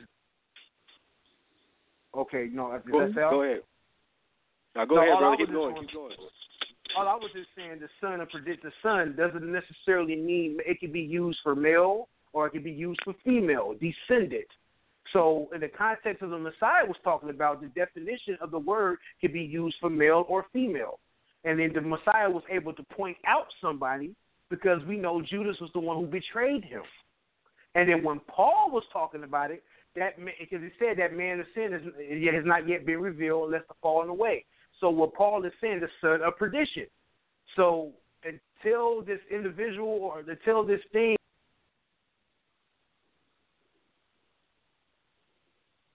Hello. Hello? I'm still Hello? here. This thing is, I'm- okay. I'm I'm I'm here, sis. I'm here. Uh, Va, are you still there, Okay, my well, brother? I, I wanted I wanted to respond to what he was saying because in in John six, chapter six, verse seventy and seventy one, and it says Jesus answered them, "I have not chosen the twelve, and one of you is a devil." He speaks of Judas Iscariot, the son of Simon, for he for he was that the one that should betray him, being one of the twelve. He called him a devil. Three right. to So, sis, let, let me ask you this, sis. Sis, do you think the devil is a literal person, or do you think the devil is a spirit? Yes, the devil is a literal person, sis, and that's what you're supposed to be um, teaching people. You're not supposed to be teaching him that, that that he is a person. He is real. He is a personage. Okay, I I, So I, I you- definitely I, I I understand your mindset. I understand your mindset, I, but I I got your perspective more. I just wanted to get that understanding of where your mindset was. Well, no, it, it but um, it, it it's a man. It, it it's the anti it, antichrist, but it is a man. It is the son of perdition. We just have to go with what the Bible says. And yo, you guys were saying a lot about stuff being in Greek, but originally Okay, do you but do the you believe was- do, do, the do, dude- do, do you believe the- do you believe the New Testament was written originally in the Greek, or do you do you believe it was originally written in the English language? the he the, the Bible was written in Hebrew, translated from Greek to English. Now the reason why it was translated into Greek because the forefathers had lost their um we lost the language. So in order for us to come back to the language because we were Oh, all scattered, gosh. they written it in Greek. That's history. That's history. I ain't make it up. You can that's history. It was written in Can y'all hear me? Can y'all hear me, y'all? Yeah. Yeah, go yeah, ahead. I, I, I can hear you, I, I, I, I Yeah. yield. I yield. I mean, I, I understand the sister's Yeah, I- I- perspective, and, and I, I respect the sister's. I respect the sister's perspective. Um, we're just putting out different perspectives, and we're just putting out the information, and we want the Holy Spirit to lead and guide into all truth. Um, people are going to believe what they want to believe. It's the Holy Spirit that actually convicts people to believe what they're going to. So we're just putting out the information. I'm not here to say anybody's right or wrong. I'm just here to put out the information, and hopefully the Holy Spirit pricks you uh, to, to, to lead and guide into all truth. I yield. Yeah, just letting y'all know, Blog Talk Radio locked me out. so I'm back in there. It was crazy. But uh, Hey, but think that, uh, my car Ross had Robert my Reed- car got dropped. Yeah, call out, yeah, man. I know for a brief moment there, that everybody just got locked out, so I don't know. But I'm back in. And uh, let's get to the next caller, though. Let's go to 470-572. You're live in the air. Yeah, yeah, yeah. This is Swarman. Yeah, I want to say this, right? When we read the Bible, when you read uh Second Thessalonians, it alludes to who it's talking about. It's clear as day. Watch this. This is uh Thessalonians two verse seven. It says, "For the mystery of iniquity do already work." Right. And the reason why Paul said that because who was in power during this time? The Roman Empire. Then it says, only he who now letteth will let until he be taken out the way. Then it says, and then this is the key how we know who it's talking about. It says, and then shall that wicked be revealed. This is talking about the future, whom the Lord shall consume with the spirit of his mouth. So Christ is going to consume this person or this people with his mouth, right? and shall destroy with the brightness of his coming. So when Christ returns, he's going to destroy this people that Paul is talking about. Now, this is going to jet propel us to Revelations 19. Here it is, Revelations 19, verse 11. It says, And I saw heaven opened up. This is what happened is when Christ ascended back up to the heavens, he was take, he took this book out of the hands of the Most High, which contains seals. These seals contain present, present, past, present, past, and future prophecies of the Bible. And it also had him coming back, returning, and judging the earth in these uh, seals. Now, watch this Revelations 19 11. And I saw heaven open up, behold, a white horse. And he that sat upon him was called faithful and true. And in righteousness he doeth judge and make war, right? Then it says, his eyes were as a flame of fire, and on his head were many crowns, and he had a name written that no man knew but he himself. This is talking about Christ and he was clothed with a vesture dipped in blood, right? And his name is called the Word of God. So the question is, who in the Bible was prophesied they were going to have he was going to have their blood on his clothing? Now, everybody in the Bible should be talking in sync with the Messiah. All the prophets should be talking what the Messiah is talking about. Okay. Now, let's see who the blood that uh, whose blood is going to be on the Messiah's clothes when he come back and make war. Here it is. This is Isaiah, verses 63 and 1. It tells us, this is who it's talking about in Thessalonians. Here it is. Who is this that cometh from Edom, with his dyed garments from Bozrah, this that is glorious in his apparel? This is Isaiah the prophet talking about Christ. Then it says, traveling in the greatness of his strength when he come back and judge the earth. It says, I that speak in righteousness mighty to save. Wherefore art thou red in thine apparel? and thy garments like him that treadeth the wine fat. This is what was asked. Okay, this is the prophecy of Revelation 19. Okay, it said Edom. That's what it's talking about. This is who Christ is going to get blood on his clothes, the blood of Edom. Now we know, according to prophecy, Edom was prophesied he was going to get the meaning of the earth. He was going to get be given the uh, sword, and it tell you in Second Thessalonians, Second Ezra, that Edom was going to be the race that was going to be in the end time. This, that's who it's talking about, Edom, nobody else, and that's everybody could fit that prophet. Edom is also the one that had dominion of the earth. The earth is given it to the hands of the wicked. So that's who it is. It's, it's clear, but I just want to say that. I'll pass the mic. Hey, yo, if I could, um, hey, what? And um, yeah, that right there, bro. Yeah, that was trash. I look, look, look. That right there, everything you read, like the Lord coming from Basra, Basra and Teman, that that that that that in itself has nothing to do with what you read in the Book of Revelation. In in in in in Second Thessalonians, when it talks about he shall come and, and slay that wicked, I mean Isaiah chapter eleven tells you that he shall smite the earth with the rod of his mouth, and with the breath of his lips shall he slay the wicked.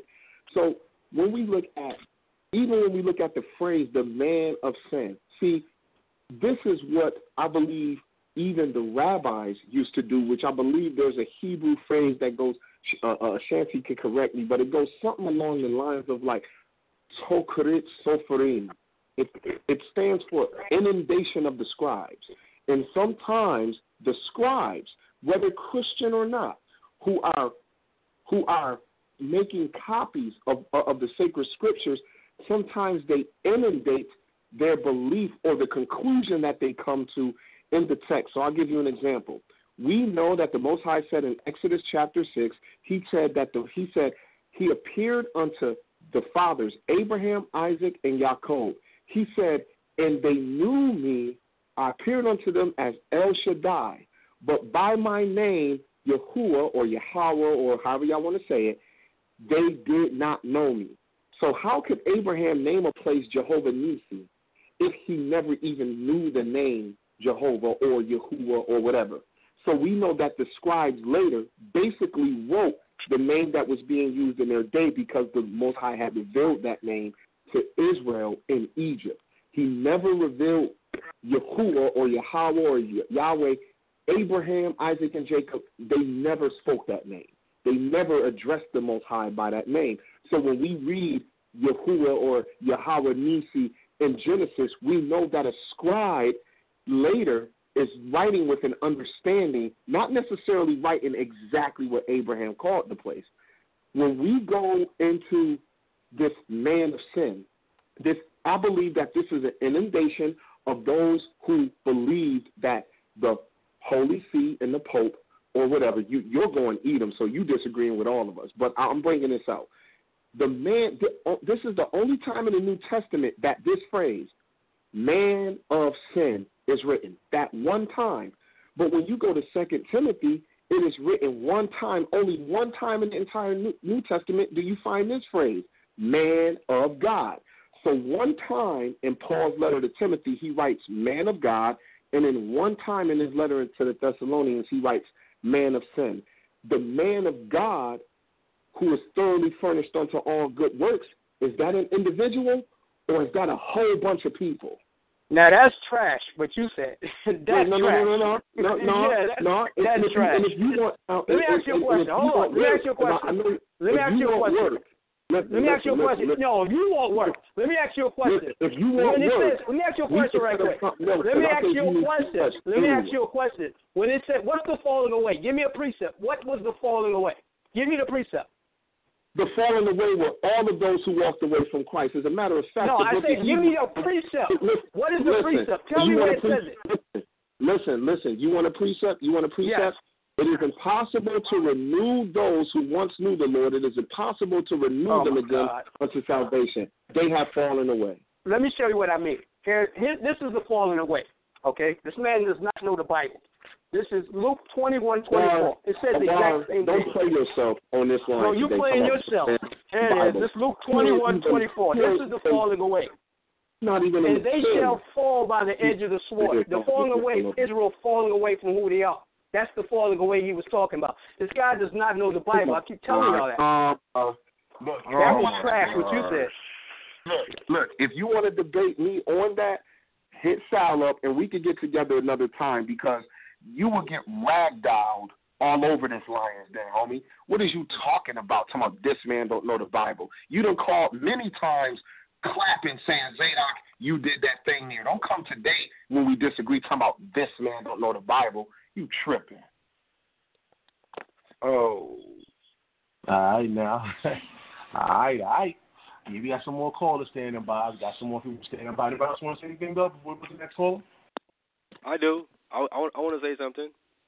Go ahead, go ahead. I, I want to speak on what what what what uh, Zadok brought out about the name of uh, the Most High. Now, when you when you read um, where he talks about, but by my name, uh, Yahweh, did they not know me?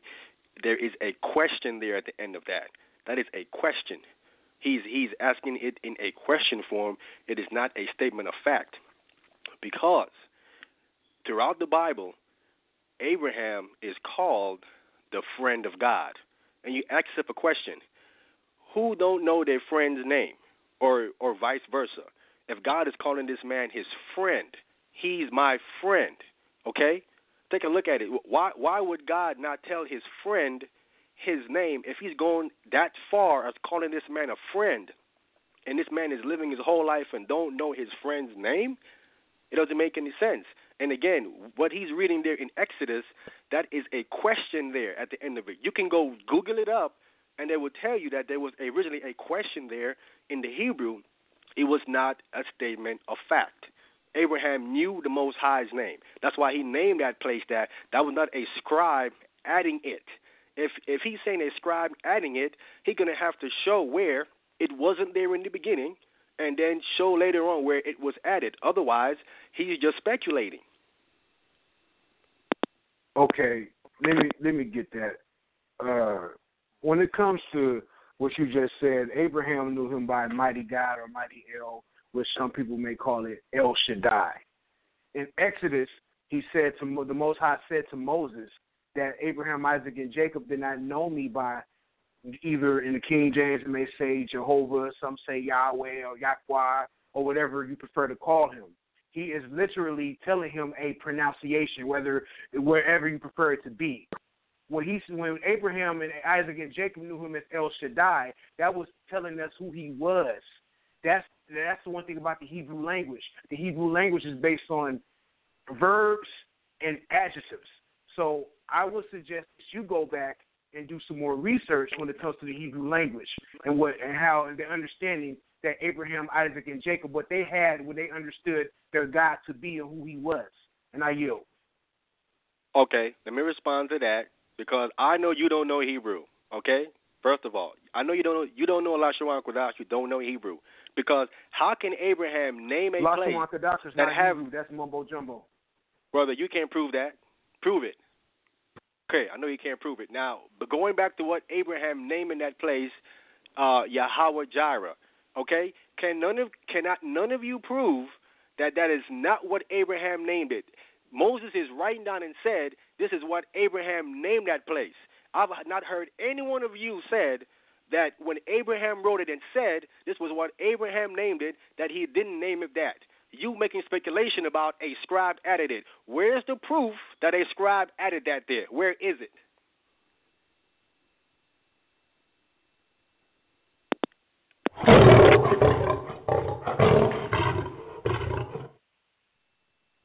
All right, you want to respond to that? I heard somebody wanted to respond. Yeah, you respond to that. Yeah, I'll definitely respond to that. The whole situation is now. Li- li- listen to what the homie said. He said you can Google it, and you'll find someone saying that this was a question being posed. I guarantee you, I can Google the opposite argument. So we're not Google scholars here.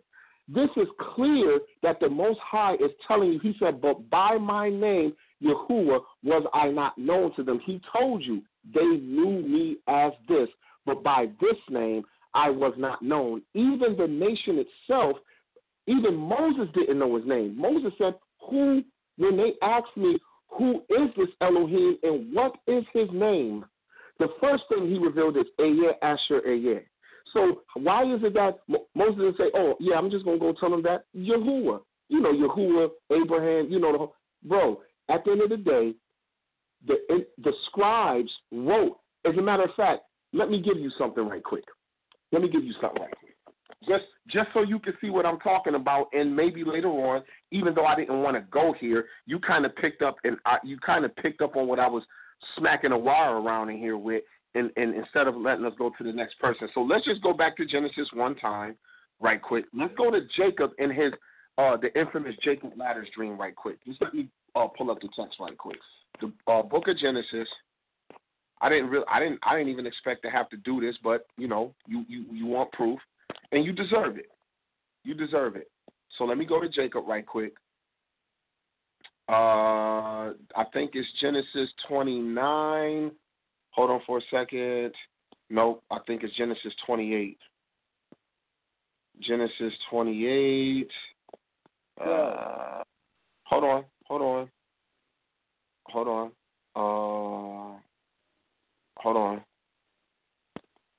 I'm sorry. Nope, that's not Genesis 28 that I want. Hold on, just let me uh, just let me look over here right quick. Um.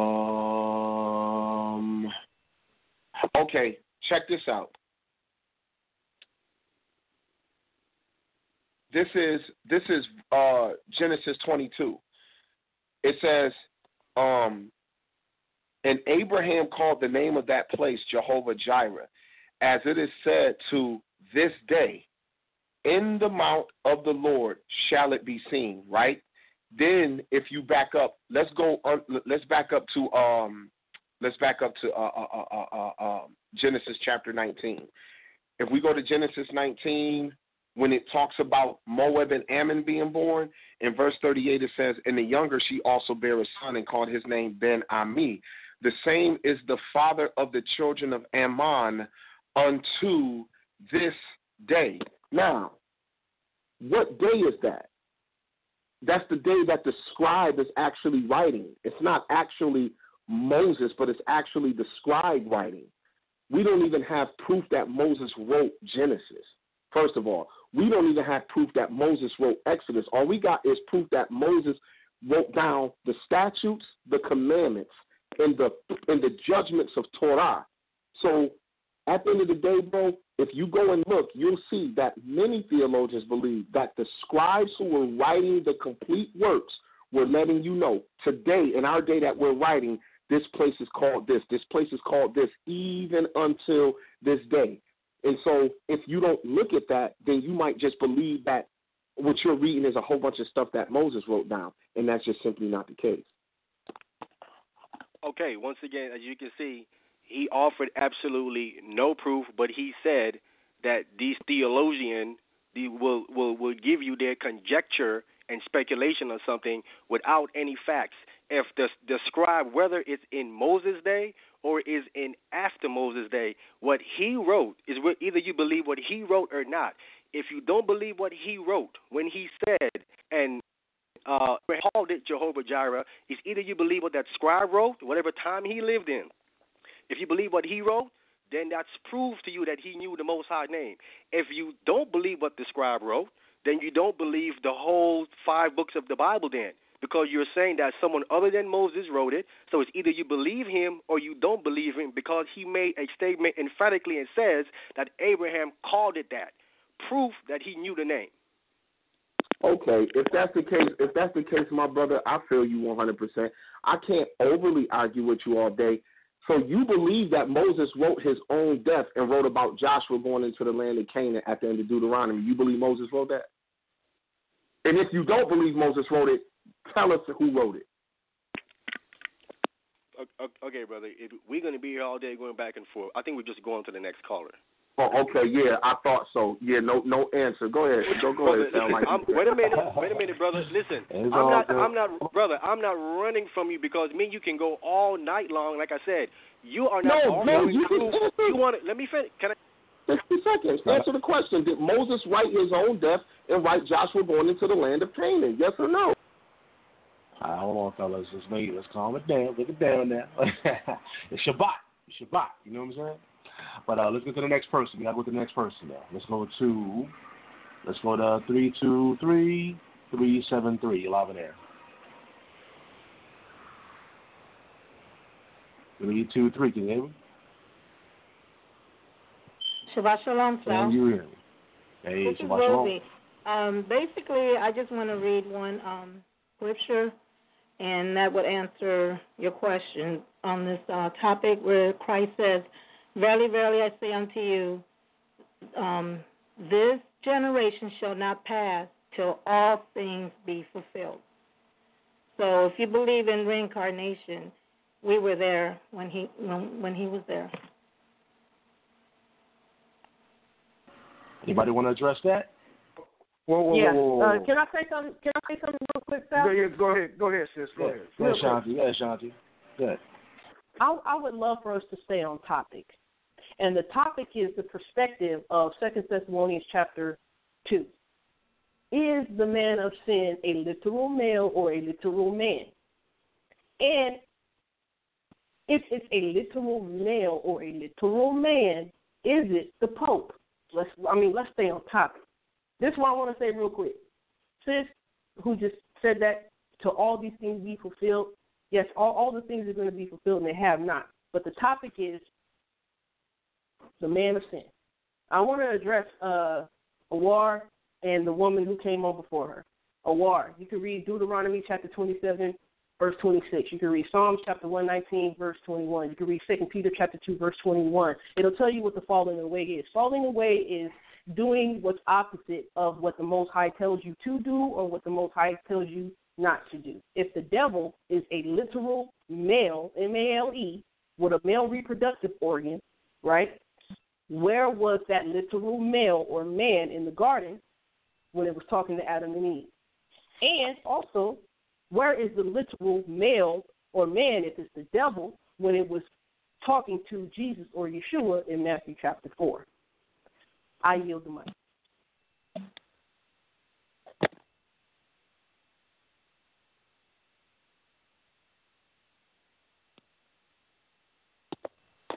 Okay.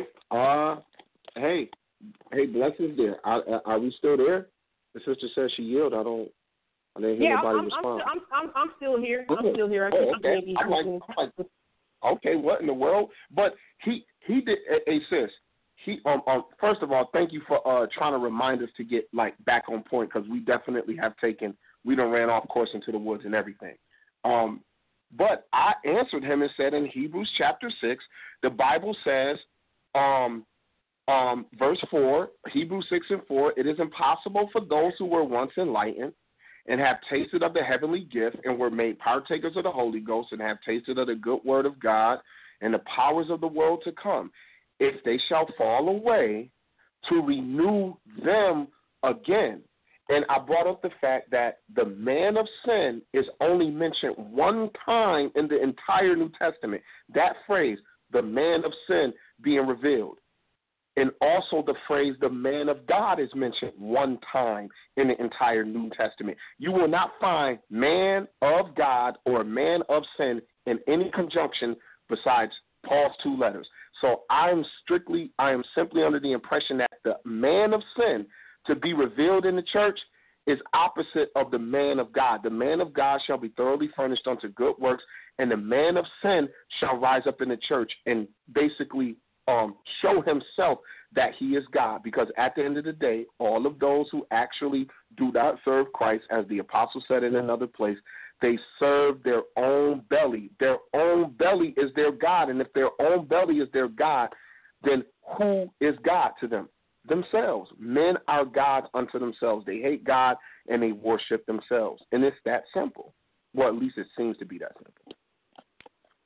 No, I, I agree with you a hundred percent, Zadok.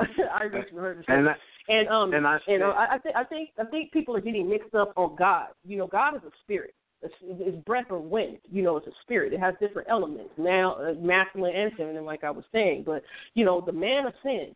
And, and this is what I was saying about the Greek language. The Greek language it, it has to be looked at from a first century AD perspective. We have to go back and get these proper definitions for these words because you know um, the word for you, you know one specific there's one specific Greek word for for one specific thing when it talks about it.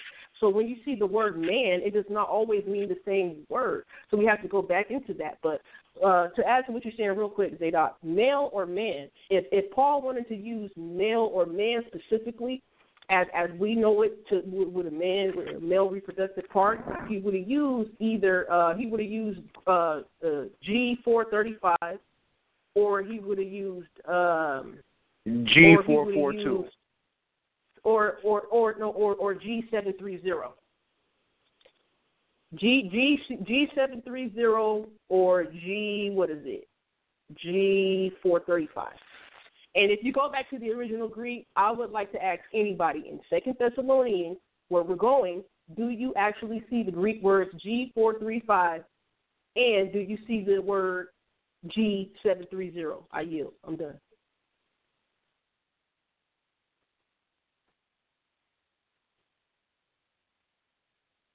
I think I think the debate talk for you kick people off or something. Well, I'm I'm I'm still here. I mean, I'm I'm I'm still here. Oh, um, okay. How you doing, yeah. Maya? I'm going good. My my my my thing is this from the beginning, as far as as as far as where we at here in, in our Second Thessalonians, is that I I went through it, and when I read verse four, and I'm reading, it says who, and then it goes on to say himself, and it talks about he, and then he's talking about himself, and as as you continue to read all the way down, it is consistently using the pronoun of a male. So the the well, Greek word pronoun, that you got. pronoun, No, it isn't. pronoun No, of it a isn't, male. Let me finish. Let me could be finish. a male or a female. Let me finish. Yeah. Sister, when you were talking, no one interrupted you. I know I didn't. I, I apologize for that, my brother. I yield. Okay, so now if if if there, if if there's a Greek word there that can be either male or female, the the the translators of of the Bible from Greek into English, when they saw that word there, they took a stand. They didn't say they didn't take a stand and said this word can be. They didn't put he or she there. You have some Bibles that have actually he or she in it, but the the uh, the King James translators took a stand and they says we're going to go with man. We're going to go with son. We're going to go with him. We're going to go with he and himself. They took a stand and went that way. So now you guys are coming back and saying this word can be either which way, but you're not saying which way it can be. You're saying it, it's, it's either this or that. You know, you you you you have no defi- no, no definite conclusion of what it actually is. And as you read down, it's consistently that is is using a uh, a male pronoun in describing a man. So if you're going to say it can mean he or she, then tell us which one it is. If you're going to sit back and say that, bro, then human mankind, then that that man the word mankind consists of male and female. When the Most High said, "Let us make man," in the Hebrew, when the Most High said, "Let us make man in our image," He was talking about the male and the female. So the thing is, is that I understand this that Paul was speaking from a Torah perspective. Not man of sin, it is open. It's not just a male. And, and like I told you, I made my mistake, but you have to show that the the apostle when he wrote this that he was talking about a literal male, and you can't prove it because the word, the because the Greek word that he used is open.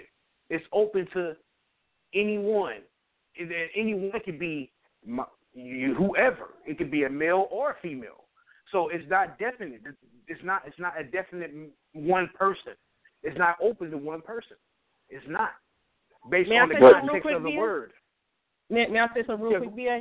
Real, yeah, real quick, real quick. Uh, so, so this is this is the issue with the Greek language, according to Greek classical Greek. Greek is very specific. Okay, Greek is very specific. There are three words that mean head in Greek. One is kephale, one is arche, and one is exousia. Okay. Um, the thing about Greek is it's, it's being very specific in every passage in the New Testament. So in Second Thessalonians chapter two, the text is being specific the thing is, is being specific. It specifically means to say humankind, male or female. The Greek is very specific. I think we don't have an understanding of the proper definition of of how the Greek language works.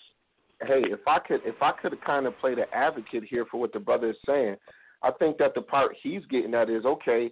If you're saying it could go either way, and you have these following words: um, exalteth himself, showing himself that he is God. So I think his point is okay, if it is the word, the Greek word for man, and it could be male or female, then whoever are the translators from Greek to English, they're definitely using he and himself in the context of man of sin, who exalted himself and showed himself that he is God. Is that the point that you're making, Brother Ahmayan? Yes, brother. Thank you. Okay, so in that context, I think that this is where the this is where his argument is. It's like, okay, if it's any, if it could be anyone, I think that anyone is a he.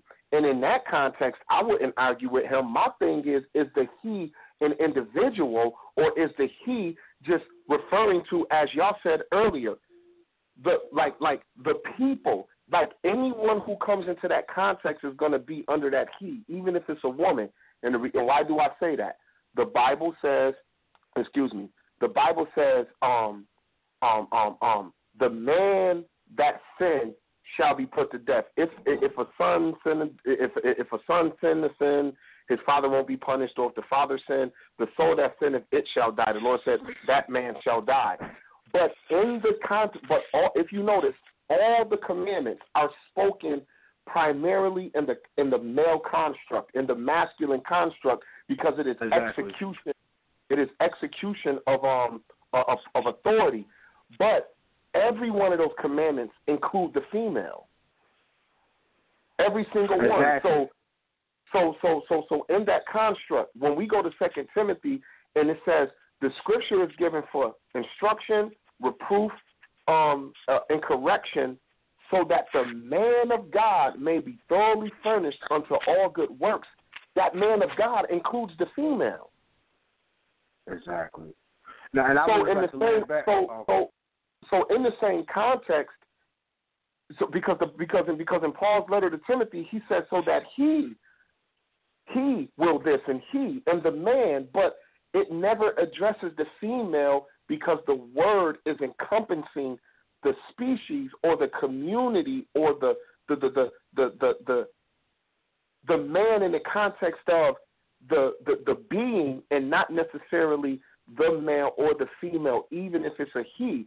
So, like for instance, the nation of Israel is called a son, and then when it's problems, the Lord in Hosea and in Ezekiel call the nation a woman and say she played whore.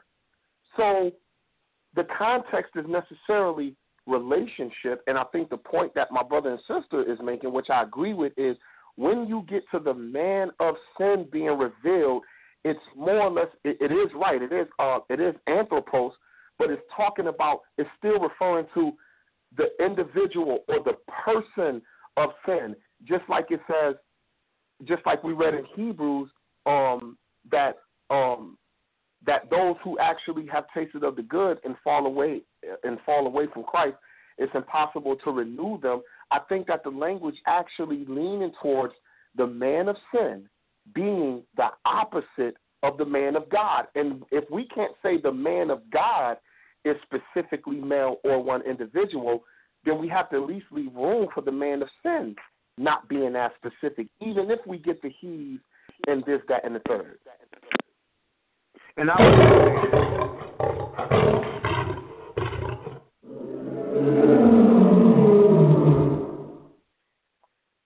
Yeah, I want to apologize to you. I'm getting kicked off my own show tonight. it's very crazy, man. Kicked off my own show tonight, brother. But um, guys, you can say something. Go ahead. all, all I just want to say is like what the Messiah said: "Man should not live by bread alone, but by every word." Was he talking about males, or was he talking about the human race, or just specifically he was talking about man, which consists of male and female? That's all I'm saying here. I, I mean, for us to come out and say, and I'm not saying no one here, I'm just speaking in general. For anyone to come out and say that this man is saying it's the Pope or a Muslim, no, that's not. That's no, it's deeper than that, and that's all I'm saying. Uh, that's that's the point I want to bring up. That it's a Pope, and then you got people you're telling people they're gonna sit in the temple and a literal building structure where we understand according to the doctrine of the apostles when they used the word naos they were talking about the metaphorical temple the body the, our bodies are a temple. And then all of a sudden we're telling people or is being taught that this man is sin goes sit three and a half years in this literal building structure supposedly and after that three and a half years the messiah gonna show up. And i'm like hold on christ never said christ said that when I come make my second come, I'm gonna come as a thief in the night. No man knows. But if you got people believing after this three and a half years that the Messiah is going to come, then we know exactly when he's going to come when this so-called male or this pope or this Muslim take the temple. We know. So do we say that the Messiah made a mistake? And I know we ain't gonna fix our lips to even say that. I know for a fact no one on here would say the Messiah made a mistake. I know for a fact. The Messiah, the Messiah should be the final authority. Wherever he says, it should go. Even and if I'm gonna go and find out about his second coming, I'd rather hear from him himself. He said, "I'm gonna creep up on you like a thief in the night." That means it can happen at any moment. I'm not arguing the signs of the, of the festivals. I'm just bringing that up. What I'm saying is that if someone said I'm going to come as a thief in the night, that means it can happen at any moment. Hey, BA. That's, oh, that's my point. Uh, yeah. B- BA. The the the word yeah, for temple, the the word for temple there that you were talking about in Second Thessalonians, because it say he sitteth in the temple of God, showing himself he is God. That word is yeah. naos. Now, if you look at the other times that the put it like this, in all of Paul's letters, that's the word. And in every letter of Paul, except this one, this will be the only time where he will be referring to the literal temple in Jerusalem and not the church. So when he said, Know ye not that ye are the temple of God, it's the word naos. he said when he said, "What fellowship do the temple of God have with idols?" Talking about what fellowship do the church have with idols? That word is naos, and it's the same word here. Now, when you go to the literal temple, if you go Matthew, Mark, Luke, John, and Acts, I guarantee you it's the word heros, and it is not naos. Yep. Because exactly. heros, heros actually carries the idea of the entire temple precincts, the outer court, everything, the building, everything. But what makes naos special is is that it's talking about behind the veil, the most holy place. It's called naos. So the Bible, Paul in his letters kept telling the church, you truly are where God dwells. You are the temple that is made without hands. This Antichrist or this man of sin is going to reveal himself, and it says he sitteth in the holiest place. But Paul, in all his other letters, kept t- saying that this was the people themselves. So, does the brother, hey brother Ahmayan, if you there, are you under the impression? Do you understand that if the word naos is being used in Second Thessalonians, that let's say it is a person, because you didn't say it was the Pope, so I'm not going to put that on you, but whoever it may be, are are you saying that this person has to sit in a third temple that's supposed to be built in Jerusalem any day now, or are you just saying that this man is basically going to have control?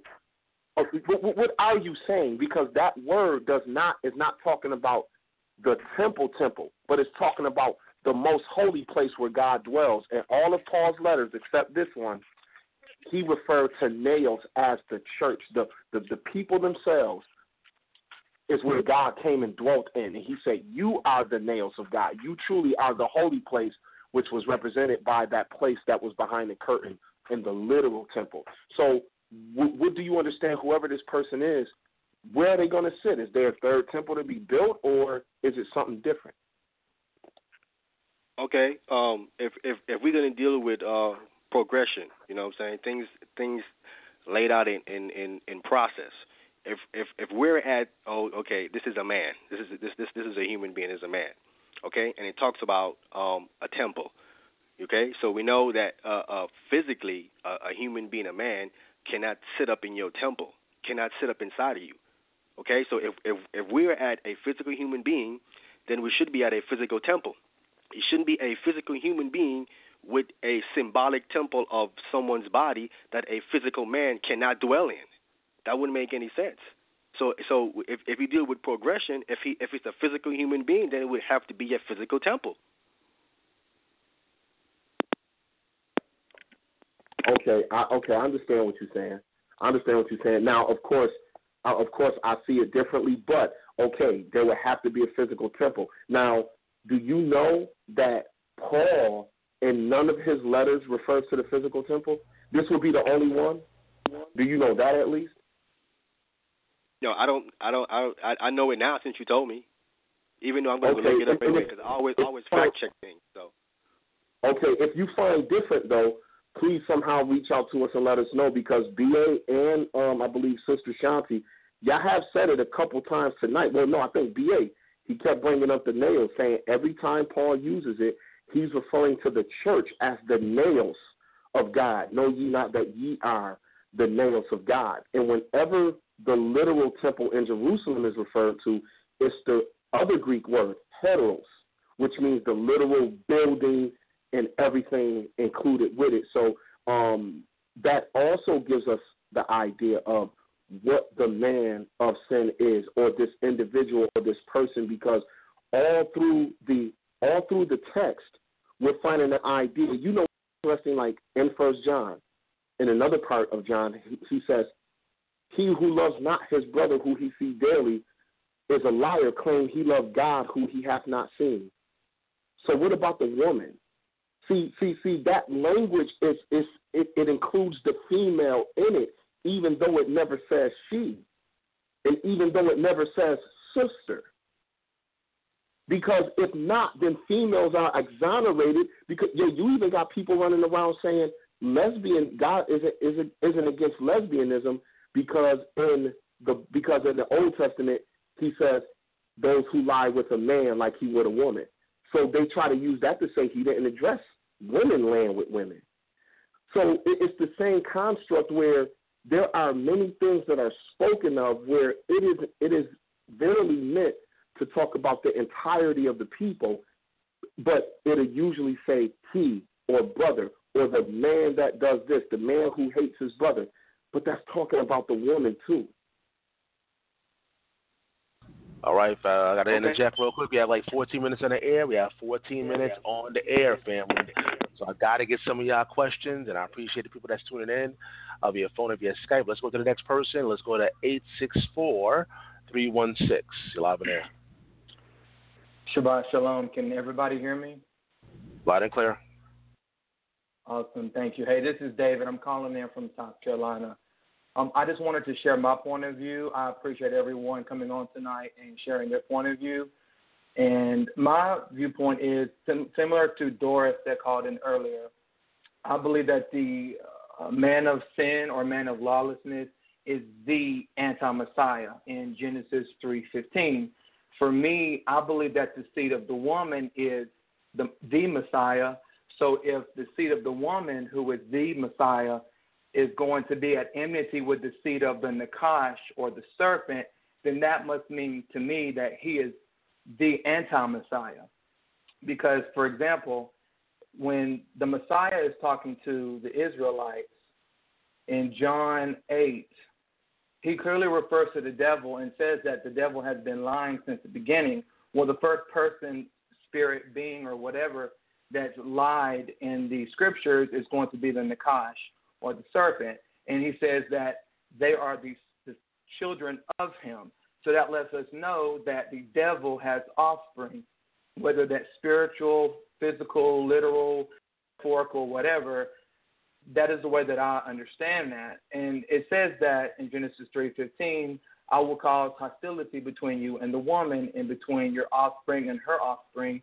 He will strike your head, and you will strike his heel all throughout the Tanakh, but I'm not going to go too far into this, we see types and shadows of the Messiah and the anti Messiah. Nimrod is an anti Messiah, Pharaoh is an anti Messiah, Moses is a Messiah. Moses and Pharaoh were in opposition and hostile towards each other, so to speak, because Pharaoh opposed God's anointed one, his Messiah, in that situation, who was Moses and God delivered his people out from the oppression of this type of anti-Messiah.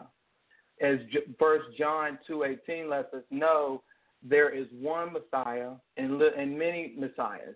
Same for the anti-Messiah. There's one singular anti-Messiah and many little anti-Messiahs all around the world. Basically, anyone who rejects and works in opposition to the Messiah is an anti-Messiah.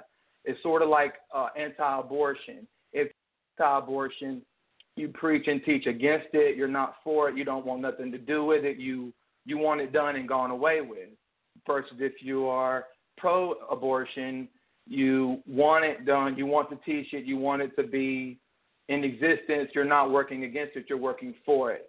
But we can understand that pro and anti type of language when we look at modern concepts like that.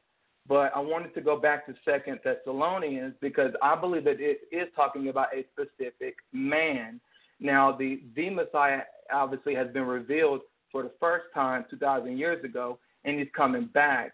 And it says in Second Thessalonians that the man of lawlessness will be revealed, but the Master Yahushua will kill him with the breath of his mouth and destroy him by the splendor of his coming. This man will come to do the work of Hasatan with counterfeit power and signs and miracles.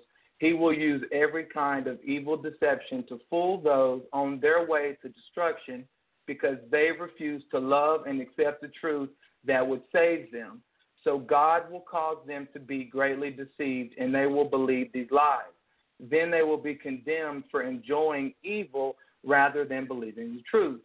Now, if we go to Revelation 19, when it talks about the Messiah coming back on the white horse, Revelations 19, 19, 19 through 21 says, And all the beasts and the kings of the earth and their armies gathered together to make war against him that sat on the horse and against his army. And the beast was taken, and with him the false prophet that wrought miracles before him, that that's what I believe is the anti-Messiah is this false prophet, with which he deceived them that had received the mark of the beast and them that worship his image.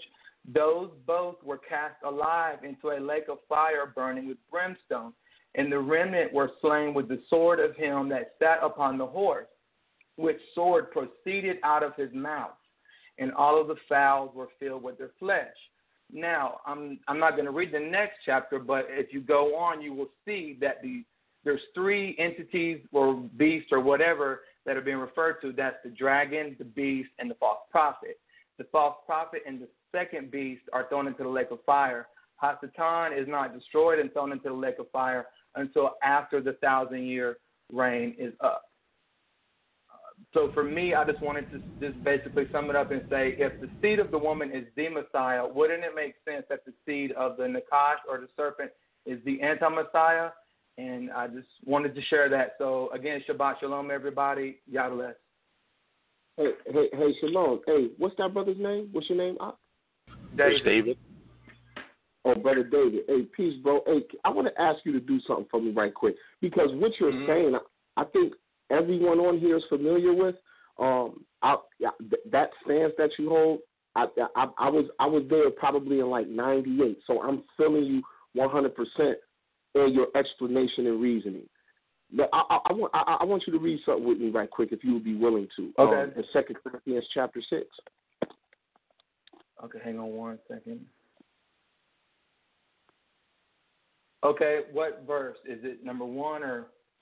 No, um, Second Corinthians six, verse fourteen, actually.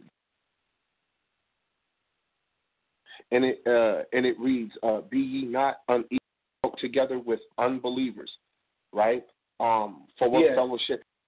What fellowship have righteousness with unrighteousness, and what communion hath light with darkness, and what concord hath Christ with Belial, or what part hath he that believeth with an infidel, and then it goes into once again, what agreement hath the temple of God with idols? For you are the temple mm-hmm. of the mm-hmm. living God.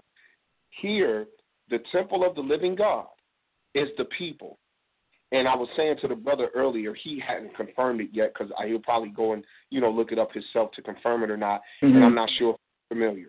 And all of Paul's letters, where he refers to the temple, the only one where he will be talking about the temple in a literal sense would be, in, at least in my opinion, would be what we're what the, the crux of this discussion in Second Thessalonians. Here, the temple of God, both times the naos, not the idols, but the temple of God, the most holy place of God is the people. And Paul constantly writes this in his letters, right? Here, Christ and Belial are the opposites of one another. Do you know who Belial is? I can't recall. I can't tell you everything about him, but I, I understand the gist of kind of what Belial is all about. Like they would okay. refer to people back in the Tanakh as sons of Belial. Right. Now, when you actually look at it, the first time that the sons of Belial or Belial, I like the way you say it, is mentioned is um is in Deuteronomy 13 when it talks about some sons of children of Belial had left from the children of Israel and they had said, let us go and serve other gods. And then you get into, you know, whether it's Job, Samuel, all of that.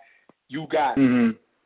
you got the men of Belial, and then you got sons of Belial, and then you have men of Belial. And when you look up Belial, it's basically just the Hebrew word Belial, and it actually carries the idea of, and it's interesting because it doesn't change in the Greek at all um, in in in, uh, in transliteration. Pardon me. The word actually is number um it's number uh, 1097 in the Hebrew and 3276. So it's really two words together, and it basically means um the evil, the wicked, the naughty, the ungodly, or the worthless, or those who are without profit. So the sons of Belial or Belial itself is not an actual individual. Mm-hmm. It is just wickedness itself. So when we look at Second Corinthians, notice how wickedness itself is said to be the opposite of Christ. And if you want to go with how they like to do it in English, they want to put Christ in capital letters, and then they put Belial, and I mean, they spell Christ with a capital, letting using it as a noun for an individual, right? Mm-hmm. Then they and, and we know that English grammar now has to come into play. What we've learned since school. Now Belial is the opposite. What Concord have Christ with Belial? Belial is spelled with a capital as a name. You be not used as a pronoun, but as a noun like an individual. But we but Belial nowhere in the scripture is a individual. It's just wicked. It's the spirit of wickedness itself. But notice how it's personified as a noun, like it's an individual. And I believe that in the same Right. construct, the man of sin or the the, the, the, the lawless one, I believe that it's Belial. I understand And what you're saying. is going to I- stand up in the church. because I, I don't. But I could be wrong. Uh, I could be wrong, confess oh, brother David. To be fair, but I just wanted I to don't show know you much about. I'm sorry. Go ahead. No, no, no. I'm sorry. I was just saying.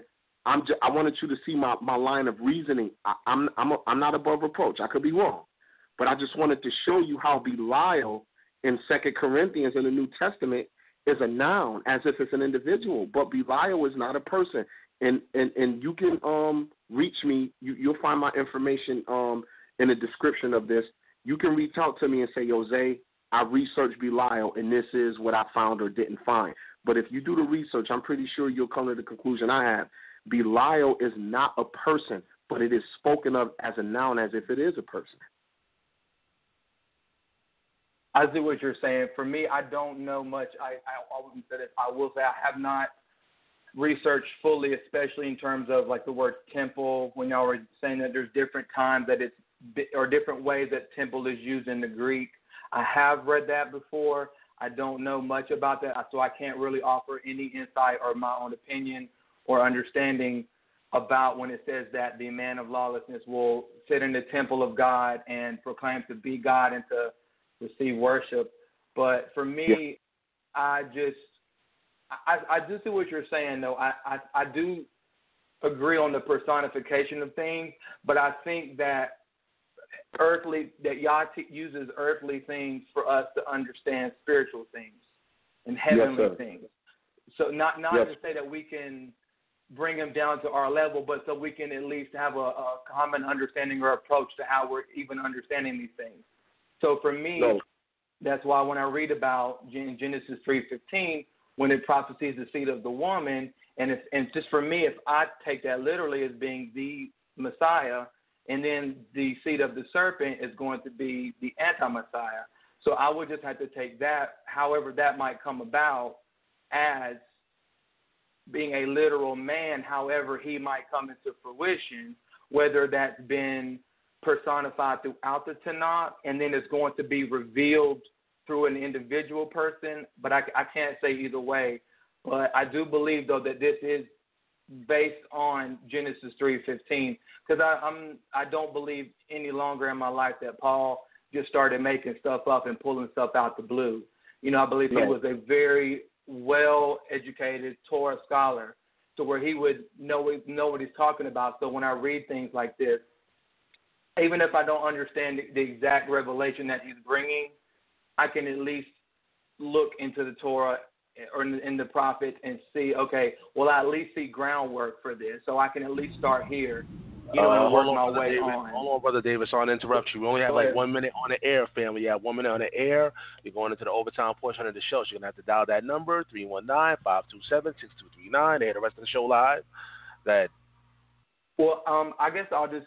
Uh, do you have anybody waiting on the line? Because if so, um, I'll yield and yeah, y'all can yeah, I go actually to do. them. But Yeah, I have some other okay, people then. standing Well, Hey, hey, hey, brother. I think I've hey, shared enough. Thank you. thank you for letting me talk. Hey brother, hey brother David, thank you. Hey Sal, if if if BA and and and, and, uh, and Shanti are still there, um, if if one of them right quick um could confirm whether or not they believe I was correct in explaining Christ and Belial in Second Corinthians because they are the opposites of one another. But They I'm still just on not that? sure. everybody's still on. That's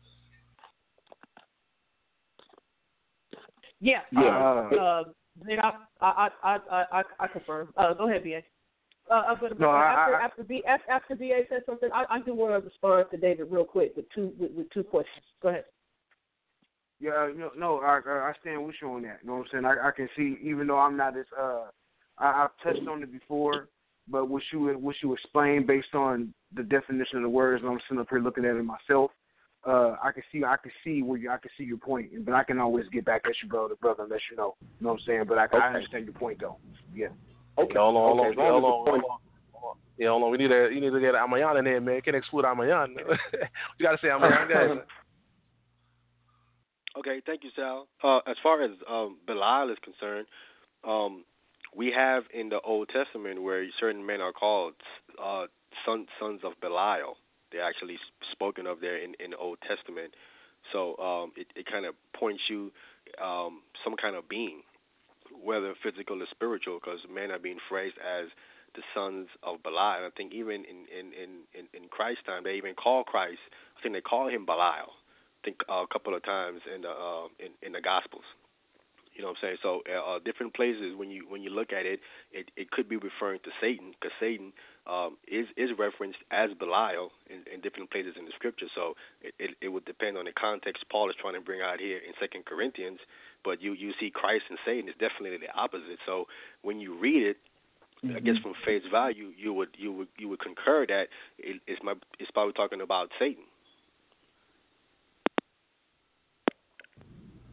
Okay. Right, okay. I feel I feel where you're coming from. All right, Ashanti, uh, you want to ask uh, Brother David two questions? You can do that. Yeah, he doesn't have to answer right now, but this is for everybody. Um, and, and, and before I ask the questions, I want to say this. Uh, I don't I don't mind anyone's stance. You know, we have a stance, other people have a stance. Um, I, I wasn't always at the stance. It took some time, um, you know, in, in prayer, meditation, conversation with with, with the Father, uh, allowing the Holy Spirit to lead and guide me into all truth. But this is the thing: if there is a literal man, right, that's got to sit in a literal temple, are are are, people realizing that if a literal man has to sit in a literal temple, who's going to build this literal temple? Are the Israeli people going to build this literal temple? And if so, are they going to build this temple over in 1948 Israel? That's one question. And then another thing talking about the seed of the woman. Well, God or Elohim is a breath of wind spirit. Um, the the seed of, of the woman, that that seed definitely had to come from from a giver, and that that seed from that giver was not from a literal male. There was no sperm. You know that spirit, that spirit gave the woman the seed, and, yeah. and this is the thing. And this is the thing. Jezebel. Isn't Jezebel an anti Messiah? Yeah. That was a woman. We we keep talking about these males, you know, but but also females also had this this this this spirit of anti Messiah. Anything anti Messiah or anti anti God is anybody who goes into opposition of the word, and the word is the Torah. The Torah is thou shalt do or thou shalt not do. You know what I mean? It's it's it's a governing for our life, but offspring. If you're saying Hashatan has offspring, or you saying Satan has offspring, are you saying Satan is asexual? You know, are are you saying that Satan can only make offspring by himself? You saying there's no there's no womb? You know what I mean? And and when you say prophet, are there only male prophets or are there female prophets as well? And and let's go to Revelation 17. You got this woman, you got this woman sitting on this beast, right? This woman was the mother of harlots that spirit was on that woman to to to woo people from following the Most High Yahweh and and His Son. So any that's that's the intimate side of there. So those those are my questions, you know. And and lastly, I think, like I said, people, if if, if you would go back to read the original Greek definitions of words, this man, when you see the word M A N in English, is it literal man with a male reproductive organ? Is it G four thirty five? or is it G730? I yield. All right, we're in the overtime portion of the show, family. Now, I don't want us to get cut off, man. You know, overtime sometimes is funny. I got cut off like three times already on my own show. So let's get to the next caller, and after that, pretty much get some final word from everybody. I want nobody to get cut off. Let's get to the next call. Let's go to 678 577. You're live in air. Can you hear me? 678 577. Are you there?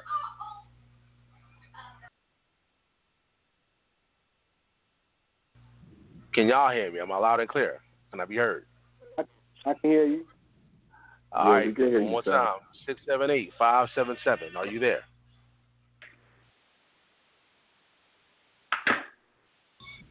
All right. Sound like he uh in the kitchen or something like that. All right. All right. Anything else y'all want to bring up or you know or discuss before we uh you know wrap it up? Pretty much. Y'all could, y'all could do that now.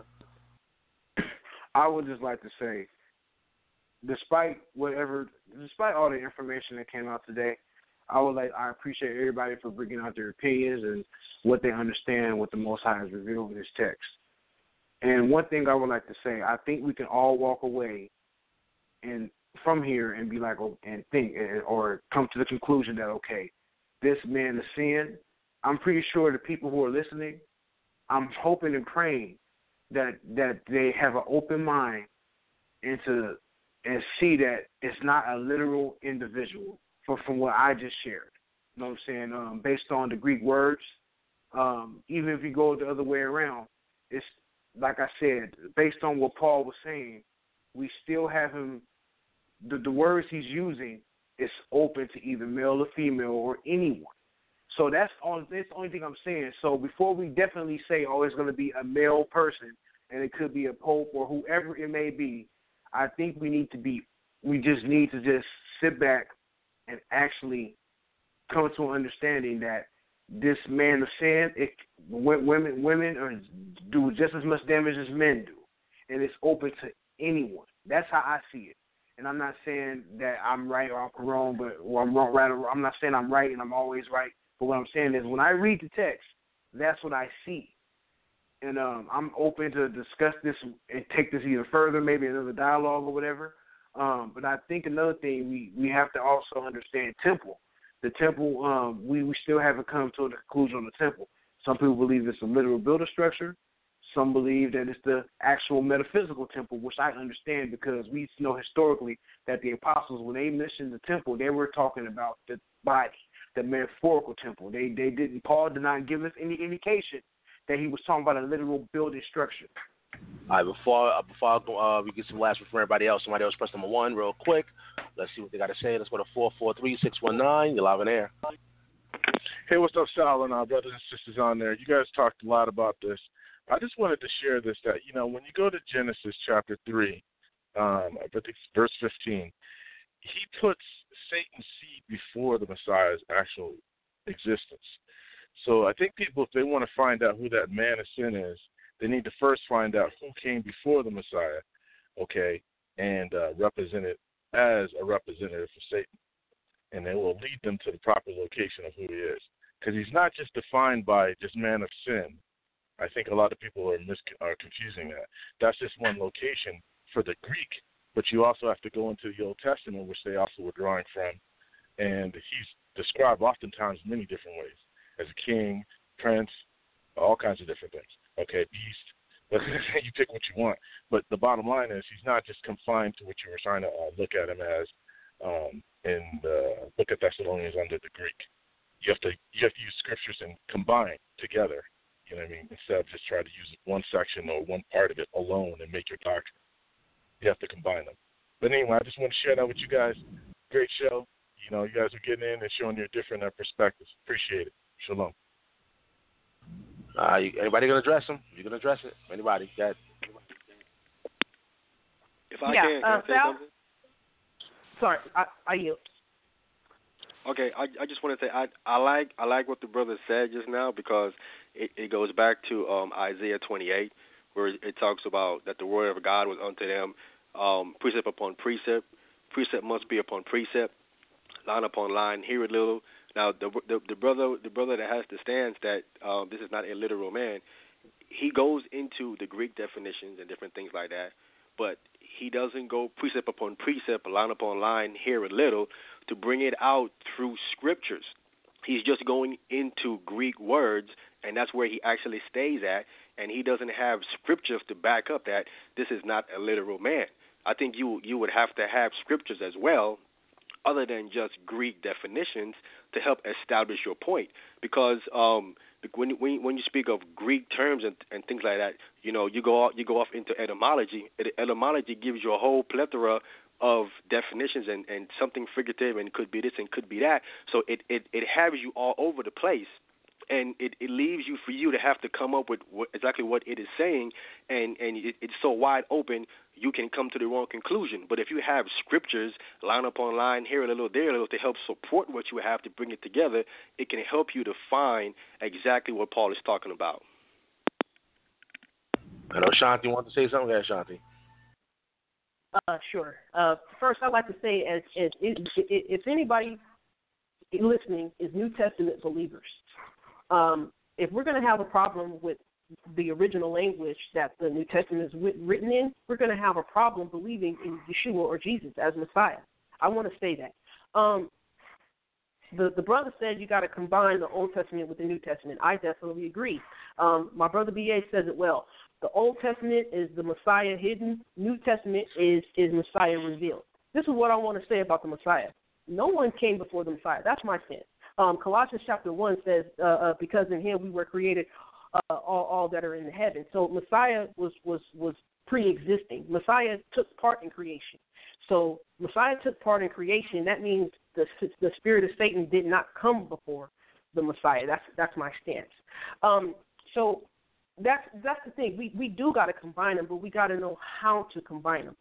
And and and lastly, I'll say this: um, my stance um, I, I wasn't always on this stance. It took some time, like I said, but I really believe that Second Thessalonians chapter two is more spiritual um, and, and, and discussing things that were in the end time. Paul definitely knew what he was talking about. Um, and and Second Thessalonians, as far as I can see, uh, the, the the time when the Messiah will return, that's more spiritual. That's what Revelation is revealing. That there's spiritual, metaphoric, symbolic meaning meanings in there. So the the, the times when the man of sin in the Old Testament was probably a, a, a literal person. Well, that literal person came to teach us what was going to happen in the end times spiritually. So I, I yield after that. All right, uh, let's get some last words in, y'all. Uh, Brother BA, last words.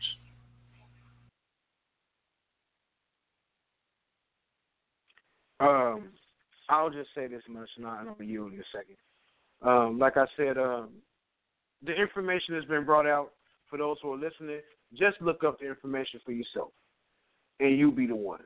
This thing about looking, staying the Greek and not trying to connect it with the scriptures. And look, we dealing when Paul wrote this letter, and if we're going to sit here and have an issue with the Greek language, then why believe in the New Testament?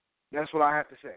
If, that, if that's the case, then why is it that we why is it that we believe in the New Testament if all of a sudden now that it's a problem to, to go back and research the language when it comes to a doctrine that's being ta- taught that the, the man of sin could be either a Muslim or a Pope. And I'm not saying the brother on here is saying that. I'm just speaking from a general perspective. That's all I'm saying. If if we're having a problem with the fact that, that we did that we're looking in the Greek language and we're and we're looking at it and saying and we see that Paul was not specifically talking about a literal male that when he said man of sin, he he was talking about the human the human being. Rather, it could be anyone. That that that's what I'm trying to say here. I'm not trying to sit here and tell nobody they're dead wrong or they're off. I'm just saying that this man of sin teaching. I think that we need to look at it from a deeper perspective based on how Paul wrote it. When he was writing this, the man had an understanding. He knew what he was talking about. So, are you going to say that Paul had no idea what he was talking about? Because based on the fact that it wasn't revealed the way how he wrote it in the Old Testament. And that's my that's how I, that's what I get from the brother who just said about go find go line upon line, precept upon precept. And I may be wrong, but correct. And I yield. I'm done. And before I let you do that, uh, I just want to let people know I try to um, embed that video, brother BA, into the description box, but uh, apparently you know it's a Facebook video, so there's no way I can really do that. So only thing I can rec- recommend people to do is go to his Facebook. I have it in the description box. You know, it's going to be on the YouTube page, Blog Talk. You know, the video is right there uh, on his Facebook page. Uh, any more information you want to share with the people about that particular video so we can go see it? No, just uh, if anyone wants to reach me, you can reach me at uh, B.A. Ben Abraham on Facebook. If you want to email me, my email is 916maccabee at gmail.com. 916maccabee at gmail.com or you can reach me at B.A. Ben Abraham on Facebook, and I yield. And I want to thank you once again, man, because you know you brought the topic up, so now that's why we have a show today. So I appreciate you, brother BA. Now let's go to Ahmayan. Last words. That word. All right, thank you, Sal. Before I begin, I'd like to say shalom, peace, and love to all of the special guests, Brother B.A., uh, the, the, the, the sister Ashanti, uh, Brother Zadok Ben Israel, um, Robert Reed. I guess he had, to, he had to get off. Um, as far as this topic here is concerned, um, the King James translators, as we understand from the historical record, is that these men were scholars and these men understood the Greek language. They were not like novices or, or, or guessing or whatnot. These men understood the Greek languages and they translated from Greek into English, and they took a stand. They translated and said that this is talking about a literal man, he, by what they translated and used. And these men were scholars. Okay, so these I, I I put more faith in people who actually are scholars of a language that understand a language more than um, after hundreds of years later, we going back into it, and we have not come to a conclusion yet. Yet the scholars who actually translated, they came to a conclusion. They took a stand. We can't be going backwards, going back to it. We don't know what it is. We don't know who it is. When the scholars who translated is telling us who it is. Uh, according to Hebrew reckoning, it says, "By the mouth of two or three witnesses shall all things be established." There's, there is, if if if the Greek can be even phrased as a witness I can go that far and say yes. Let's let's say it is because I have no problem with the Greek at all whatsoever. What I said was, you if if you have scriptures to back up the Greek of what you're saying, then it it more establishes your point. But if it's only in the Greek, and then people can go in and say, well, it can mean this also too, brother. It can mean that also. Then you, what you have on your hand is a debate. You have nothing. You have nothing that is that is definitive. Uh, as far as this is concerned, if if this is if, if this is not a literal temple, if it is not a literal temple, it's, it's speaking of something that is that is uh, figuratively, meaning a person, meaning a, a, a, human's body, not a not a building. Then whoever whoever this this man here is, he would have to be a spirit, because only a spirit can dwell in a in, in a human body. And if it's a physical human being, then it would have to be a physical temple. So it it it it doesn't matter which way you kind of word it. If it's not a physical temple again, it's, it's speaking of human beings, then this man of sin would have to be spirit. You have to be so. So now we, we're talking about Paul is speaking of a spiritual entity here that can actually dwell in human beings' body, or vice versa, or or it's an actually physical human being and it's a physical temple. So once again, we're here uh, speculating on which what it is, what could it be, it could be this, it could be that, when the translators have told us what it is. You, you, we can't go backwards again and be saying we don't know what it is and it could be anybody. Come on now, we need to we need to have something definitive because a teacher is supposed to teach the people what it is and not give them something that's wide open where they're left to their own interpretation. That happened to Israel in the past, where people were just telling them certain things and they interpreted themselves. You know, so we need to we need if we're going to be if we're going to be a teacher of, uh, of people, we need to go in and interpret it and come with proof with scriptures to what we are saying, and we can't just be saying what we think it is and it could be that. And with that, once again, I want to thank all uh, the the special guests. Thank the brother South for having me back on the show, and to everybody everywhere. Shalom. Uh, we appreciate you, Amaya, and uh, let's go to my sister Shanti. Last words. Last words. Uh, I want to say Shabbat Shalom. That means Sabbath peace to the people. Um, that means a, a good a good 24 hours of uh, rest and uh, peace amongst our brothers and sisters. Uh, I want to apologize again to Brother Ahmayan. I didn't have my uh, uh, my phone on mute, but I, I didn't mean to interrupt because that's that's unlike my character. But uh, I want to thank you, Sal. I want to thank you, Ahmayan. I want to thank you, Brother BA. I want to thank my brothers I don't. Um, a couple of things I want to say. Um, I do want to uh, give out references real quick of some lexicons that have helped me. Um, I know a lot of people go to the Thayer's uh, Greek lexicon. What I've done is I've done some research on the Thayer's Greek lexicon. It actually gives um, later definitions or changed definitions during the Byzantine Empire. What I mean is like, you know, after 600 AD all the way up to you know uh, 19th, 20th century and later, right?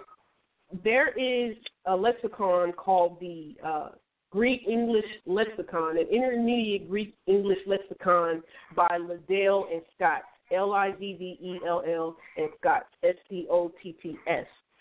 This lexicon right here gives the classical or Koine Greek original definition uh, um, noted by scholars from 1000 BC, BCE for Common Era all the way up to 600 AD. That means that these definitions in here they they correspond or they corroborate the definitions for the New Testament. Um, also, uh, you can do some comparative study with a Greek and English lexicon of the New Testament, um, a translation and adaptation of the Fourth Revised and Augmented edition of Walter Bauer's. If you go to the Strong's Concordance, you'll see like the the acronym B uh, BDAG.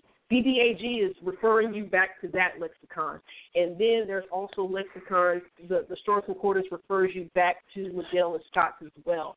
Um, that's that's what I wanted to give out to the people. Um, and and this is the thing. Lastly, I'll say, um, we are going to believe what we want to believe, and and everybody's going to have a stance until the Holy Spirit leads and guides into all truth. Um, we just put out the information. Uh, we're not here to say anybody's right. We're not here to say anybody's wrong. We're just putting out the information and asking you to go back once you get an understanding of the literal words in their proper original language definition, then you go into deeper layers of that. You go into deeper layers. You you you, you have the natural to understand the spiritual. Um, so that that's what I encourage people to do. Um, I'm I'm a student as, as well, like Brother BA always says. I'm I'm a student first. Um, I'm, I'm definitely not over anybody. But I, I just would love for people to go back, research and study on your own. This is a personal relationship with the Most High Yahweh, the Most High Lord God of Israel. This is a personal relationship. So I just want to encourage people to remain steadfast in your faith and, and to sustain your personal relationship with the Most High. Because when you do, things get revealed to you. I have been corrected in this walk many times, and this thing is about growth and understanding and and um, I just want to say Shabbat Shalom to the to the people out there. Thank you for having me on, Sal, and um, peace to peace to the brothers out there. Um, peace to the brothers out there in, in your walk in your faith. All right, that's Sister Shanti. Uh, like I said, uh, everybody's uh, information is in the description box. If you want to reach out to any of the special guests on the panel, go to the description box on YouTube, on iTunes, and of course on the Blog Talk Radio. If you want to reach out, I appreciate y'all. Let's go to Zadok. Last words. Yo, peace and blessings. Um, yo, it was cool being here. I haven't really dealt with the man of sin discussion in a couple of years because it's so much, uh, you know, to the vast word of God and the different seasons we find ourselves in. But I do know that it is an important topic nonetheless. Um, I appreciate the brother Ahmayan. I believe, um, pardon me, I believe that we all here um, on the panel with him understand where he's coming from. So not to berate or try to belittle. Thing is, is that that explanation is out there. Uh, that's a common explanation in evangelical Christianity. I want to put a couple things in perspective. If you do research, you will actually understand um, that the idea of the papal order being, um, for, for instance, because it was a reason BA kept bringing up like the Pope or Muslim. If you do research, I think we have to be fair to the church. Uh, the brother Ahmayan said something that was very critical. We are 2,000 years removed from the penning of these things. I think it would do us well if we want to do some research of what were they saying in the second century that the antichrist that, that the antichrist was. Why is it that we could find in history that many people believe that Paul was talking about something contemporary that the people of Thessalonica themselves would be able to look for because there were individuals who were saying that the time had already passed. And he was like, No, it ain't came yet. Know right now that it is. And he now who letteth will let until he be taken out of the way. What does he mean? He who now letteth will let until he be taken out of the way. Who was doing what in Paul's day that he could say, whoever is doing this right now will continue to do that until he is taken out of the way? In reference to AKA this man of sin. I think that because we are in our day, we can be called futurists or post or a premillennialist, whatever, where we've taken everything out of the Bible and nothing that they wrote applied to their time, whether it was while Paul was living or even if he was dead. He said, Look, I know when I am gone, I'm afraid that many gonna come and they're gonna come in deceiving y'all and tricking y'all. If you research the man of sin and you find out what they were saying, you will never find the Pope coming up until the days of Francisco Bernardo and Martin Luther, aka the father who, who began what people call the Reformation. The whole idea of the Pope himself being the Antichrist is not old. It's fairly new in this 2,000 years. It's something that's only been talked about for about the last four or 500 years. But research and find out what were they looking for in the second, third, fourth century, and we would have to say they don't know what they were talking about. But I'll tell you what they weren't talking about. They weren't talking about no pope. So when it comes down to it, I think that um, the scripture is an adventure. It is a journey, and I'm hoping that people would see that we came in the spirit tonight to say, "Hey, y'all, this is already out here." So if people looking for that, cool. But just like Jezebel, I believe in Revelation chapter 2, I think it is. If you do the research on that, uh, and to the church in Thyatira, I know that woman Jezebel among you who called herself a prophetess, who lead my people astray. If you do research, you'll find out nobody can, not many people think it was a literal woman named Jezebel there. And they do believe that, some believe if it was a woman there, that the Phoenician name Jezebel wasn't even a common name in the first century. But the writer, the Holy Spirit, had the revelator write that because whoever, if it was a woman there, she was coming in the spirit of the Jezebel in the scriptures of old who was deceiving the nation of Israel, or Jezebel was referring to a spirit of false prophecy that had fell in the church. And that spirit of false prophecy was given a name. So once again, Belial, Jezebel, man of sin, all of these things may not necessarily be personages, just like Israel was looking for Elijah, the prophet, to come according to the book of Malachi. Jesus said that basically Elijah was not a literal person, but Elijah, who y'all was waiting for, you know what? He came. Who was he? He wasn't John the Baptist, but the teaching, the spirit that John the Baptist preached in was Elijah. And how do we know that? Because once um, I'll end it here. Once Zechariah, John the Baptist's father, once his mouth opened up after his son was born, and he told him what his name would be, he prophesied on his son and said that he would go forth in the power and spirit of Elijah. So many people would say, well, I'll read Malachi, it literally say Elijah, but John the Baptist's father himself prophesied that his son was going to go forth in the power and spirit of Elijah.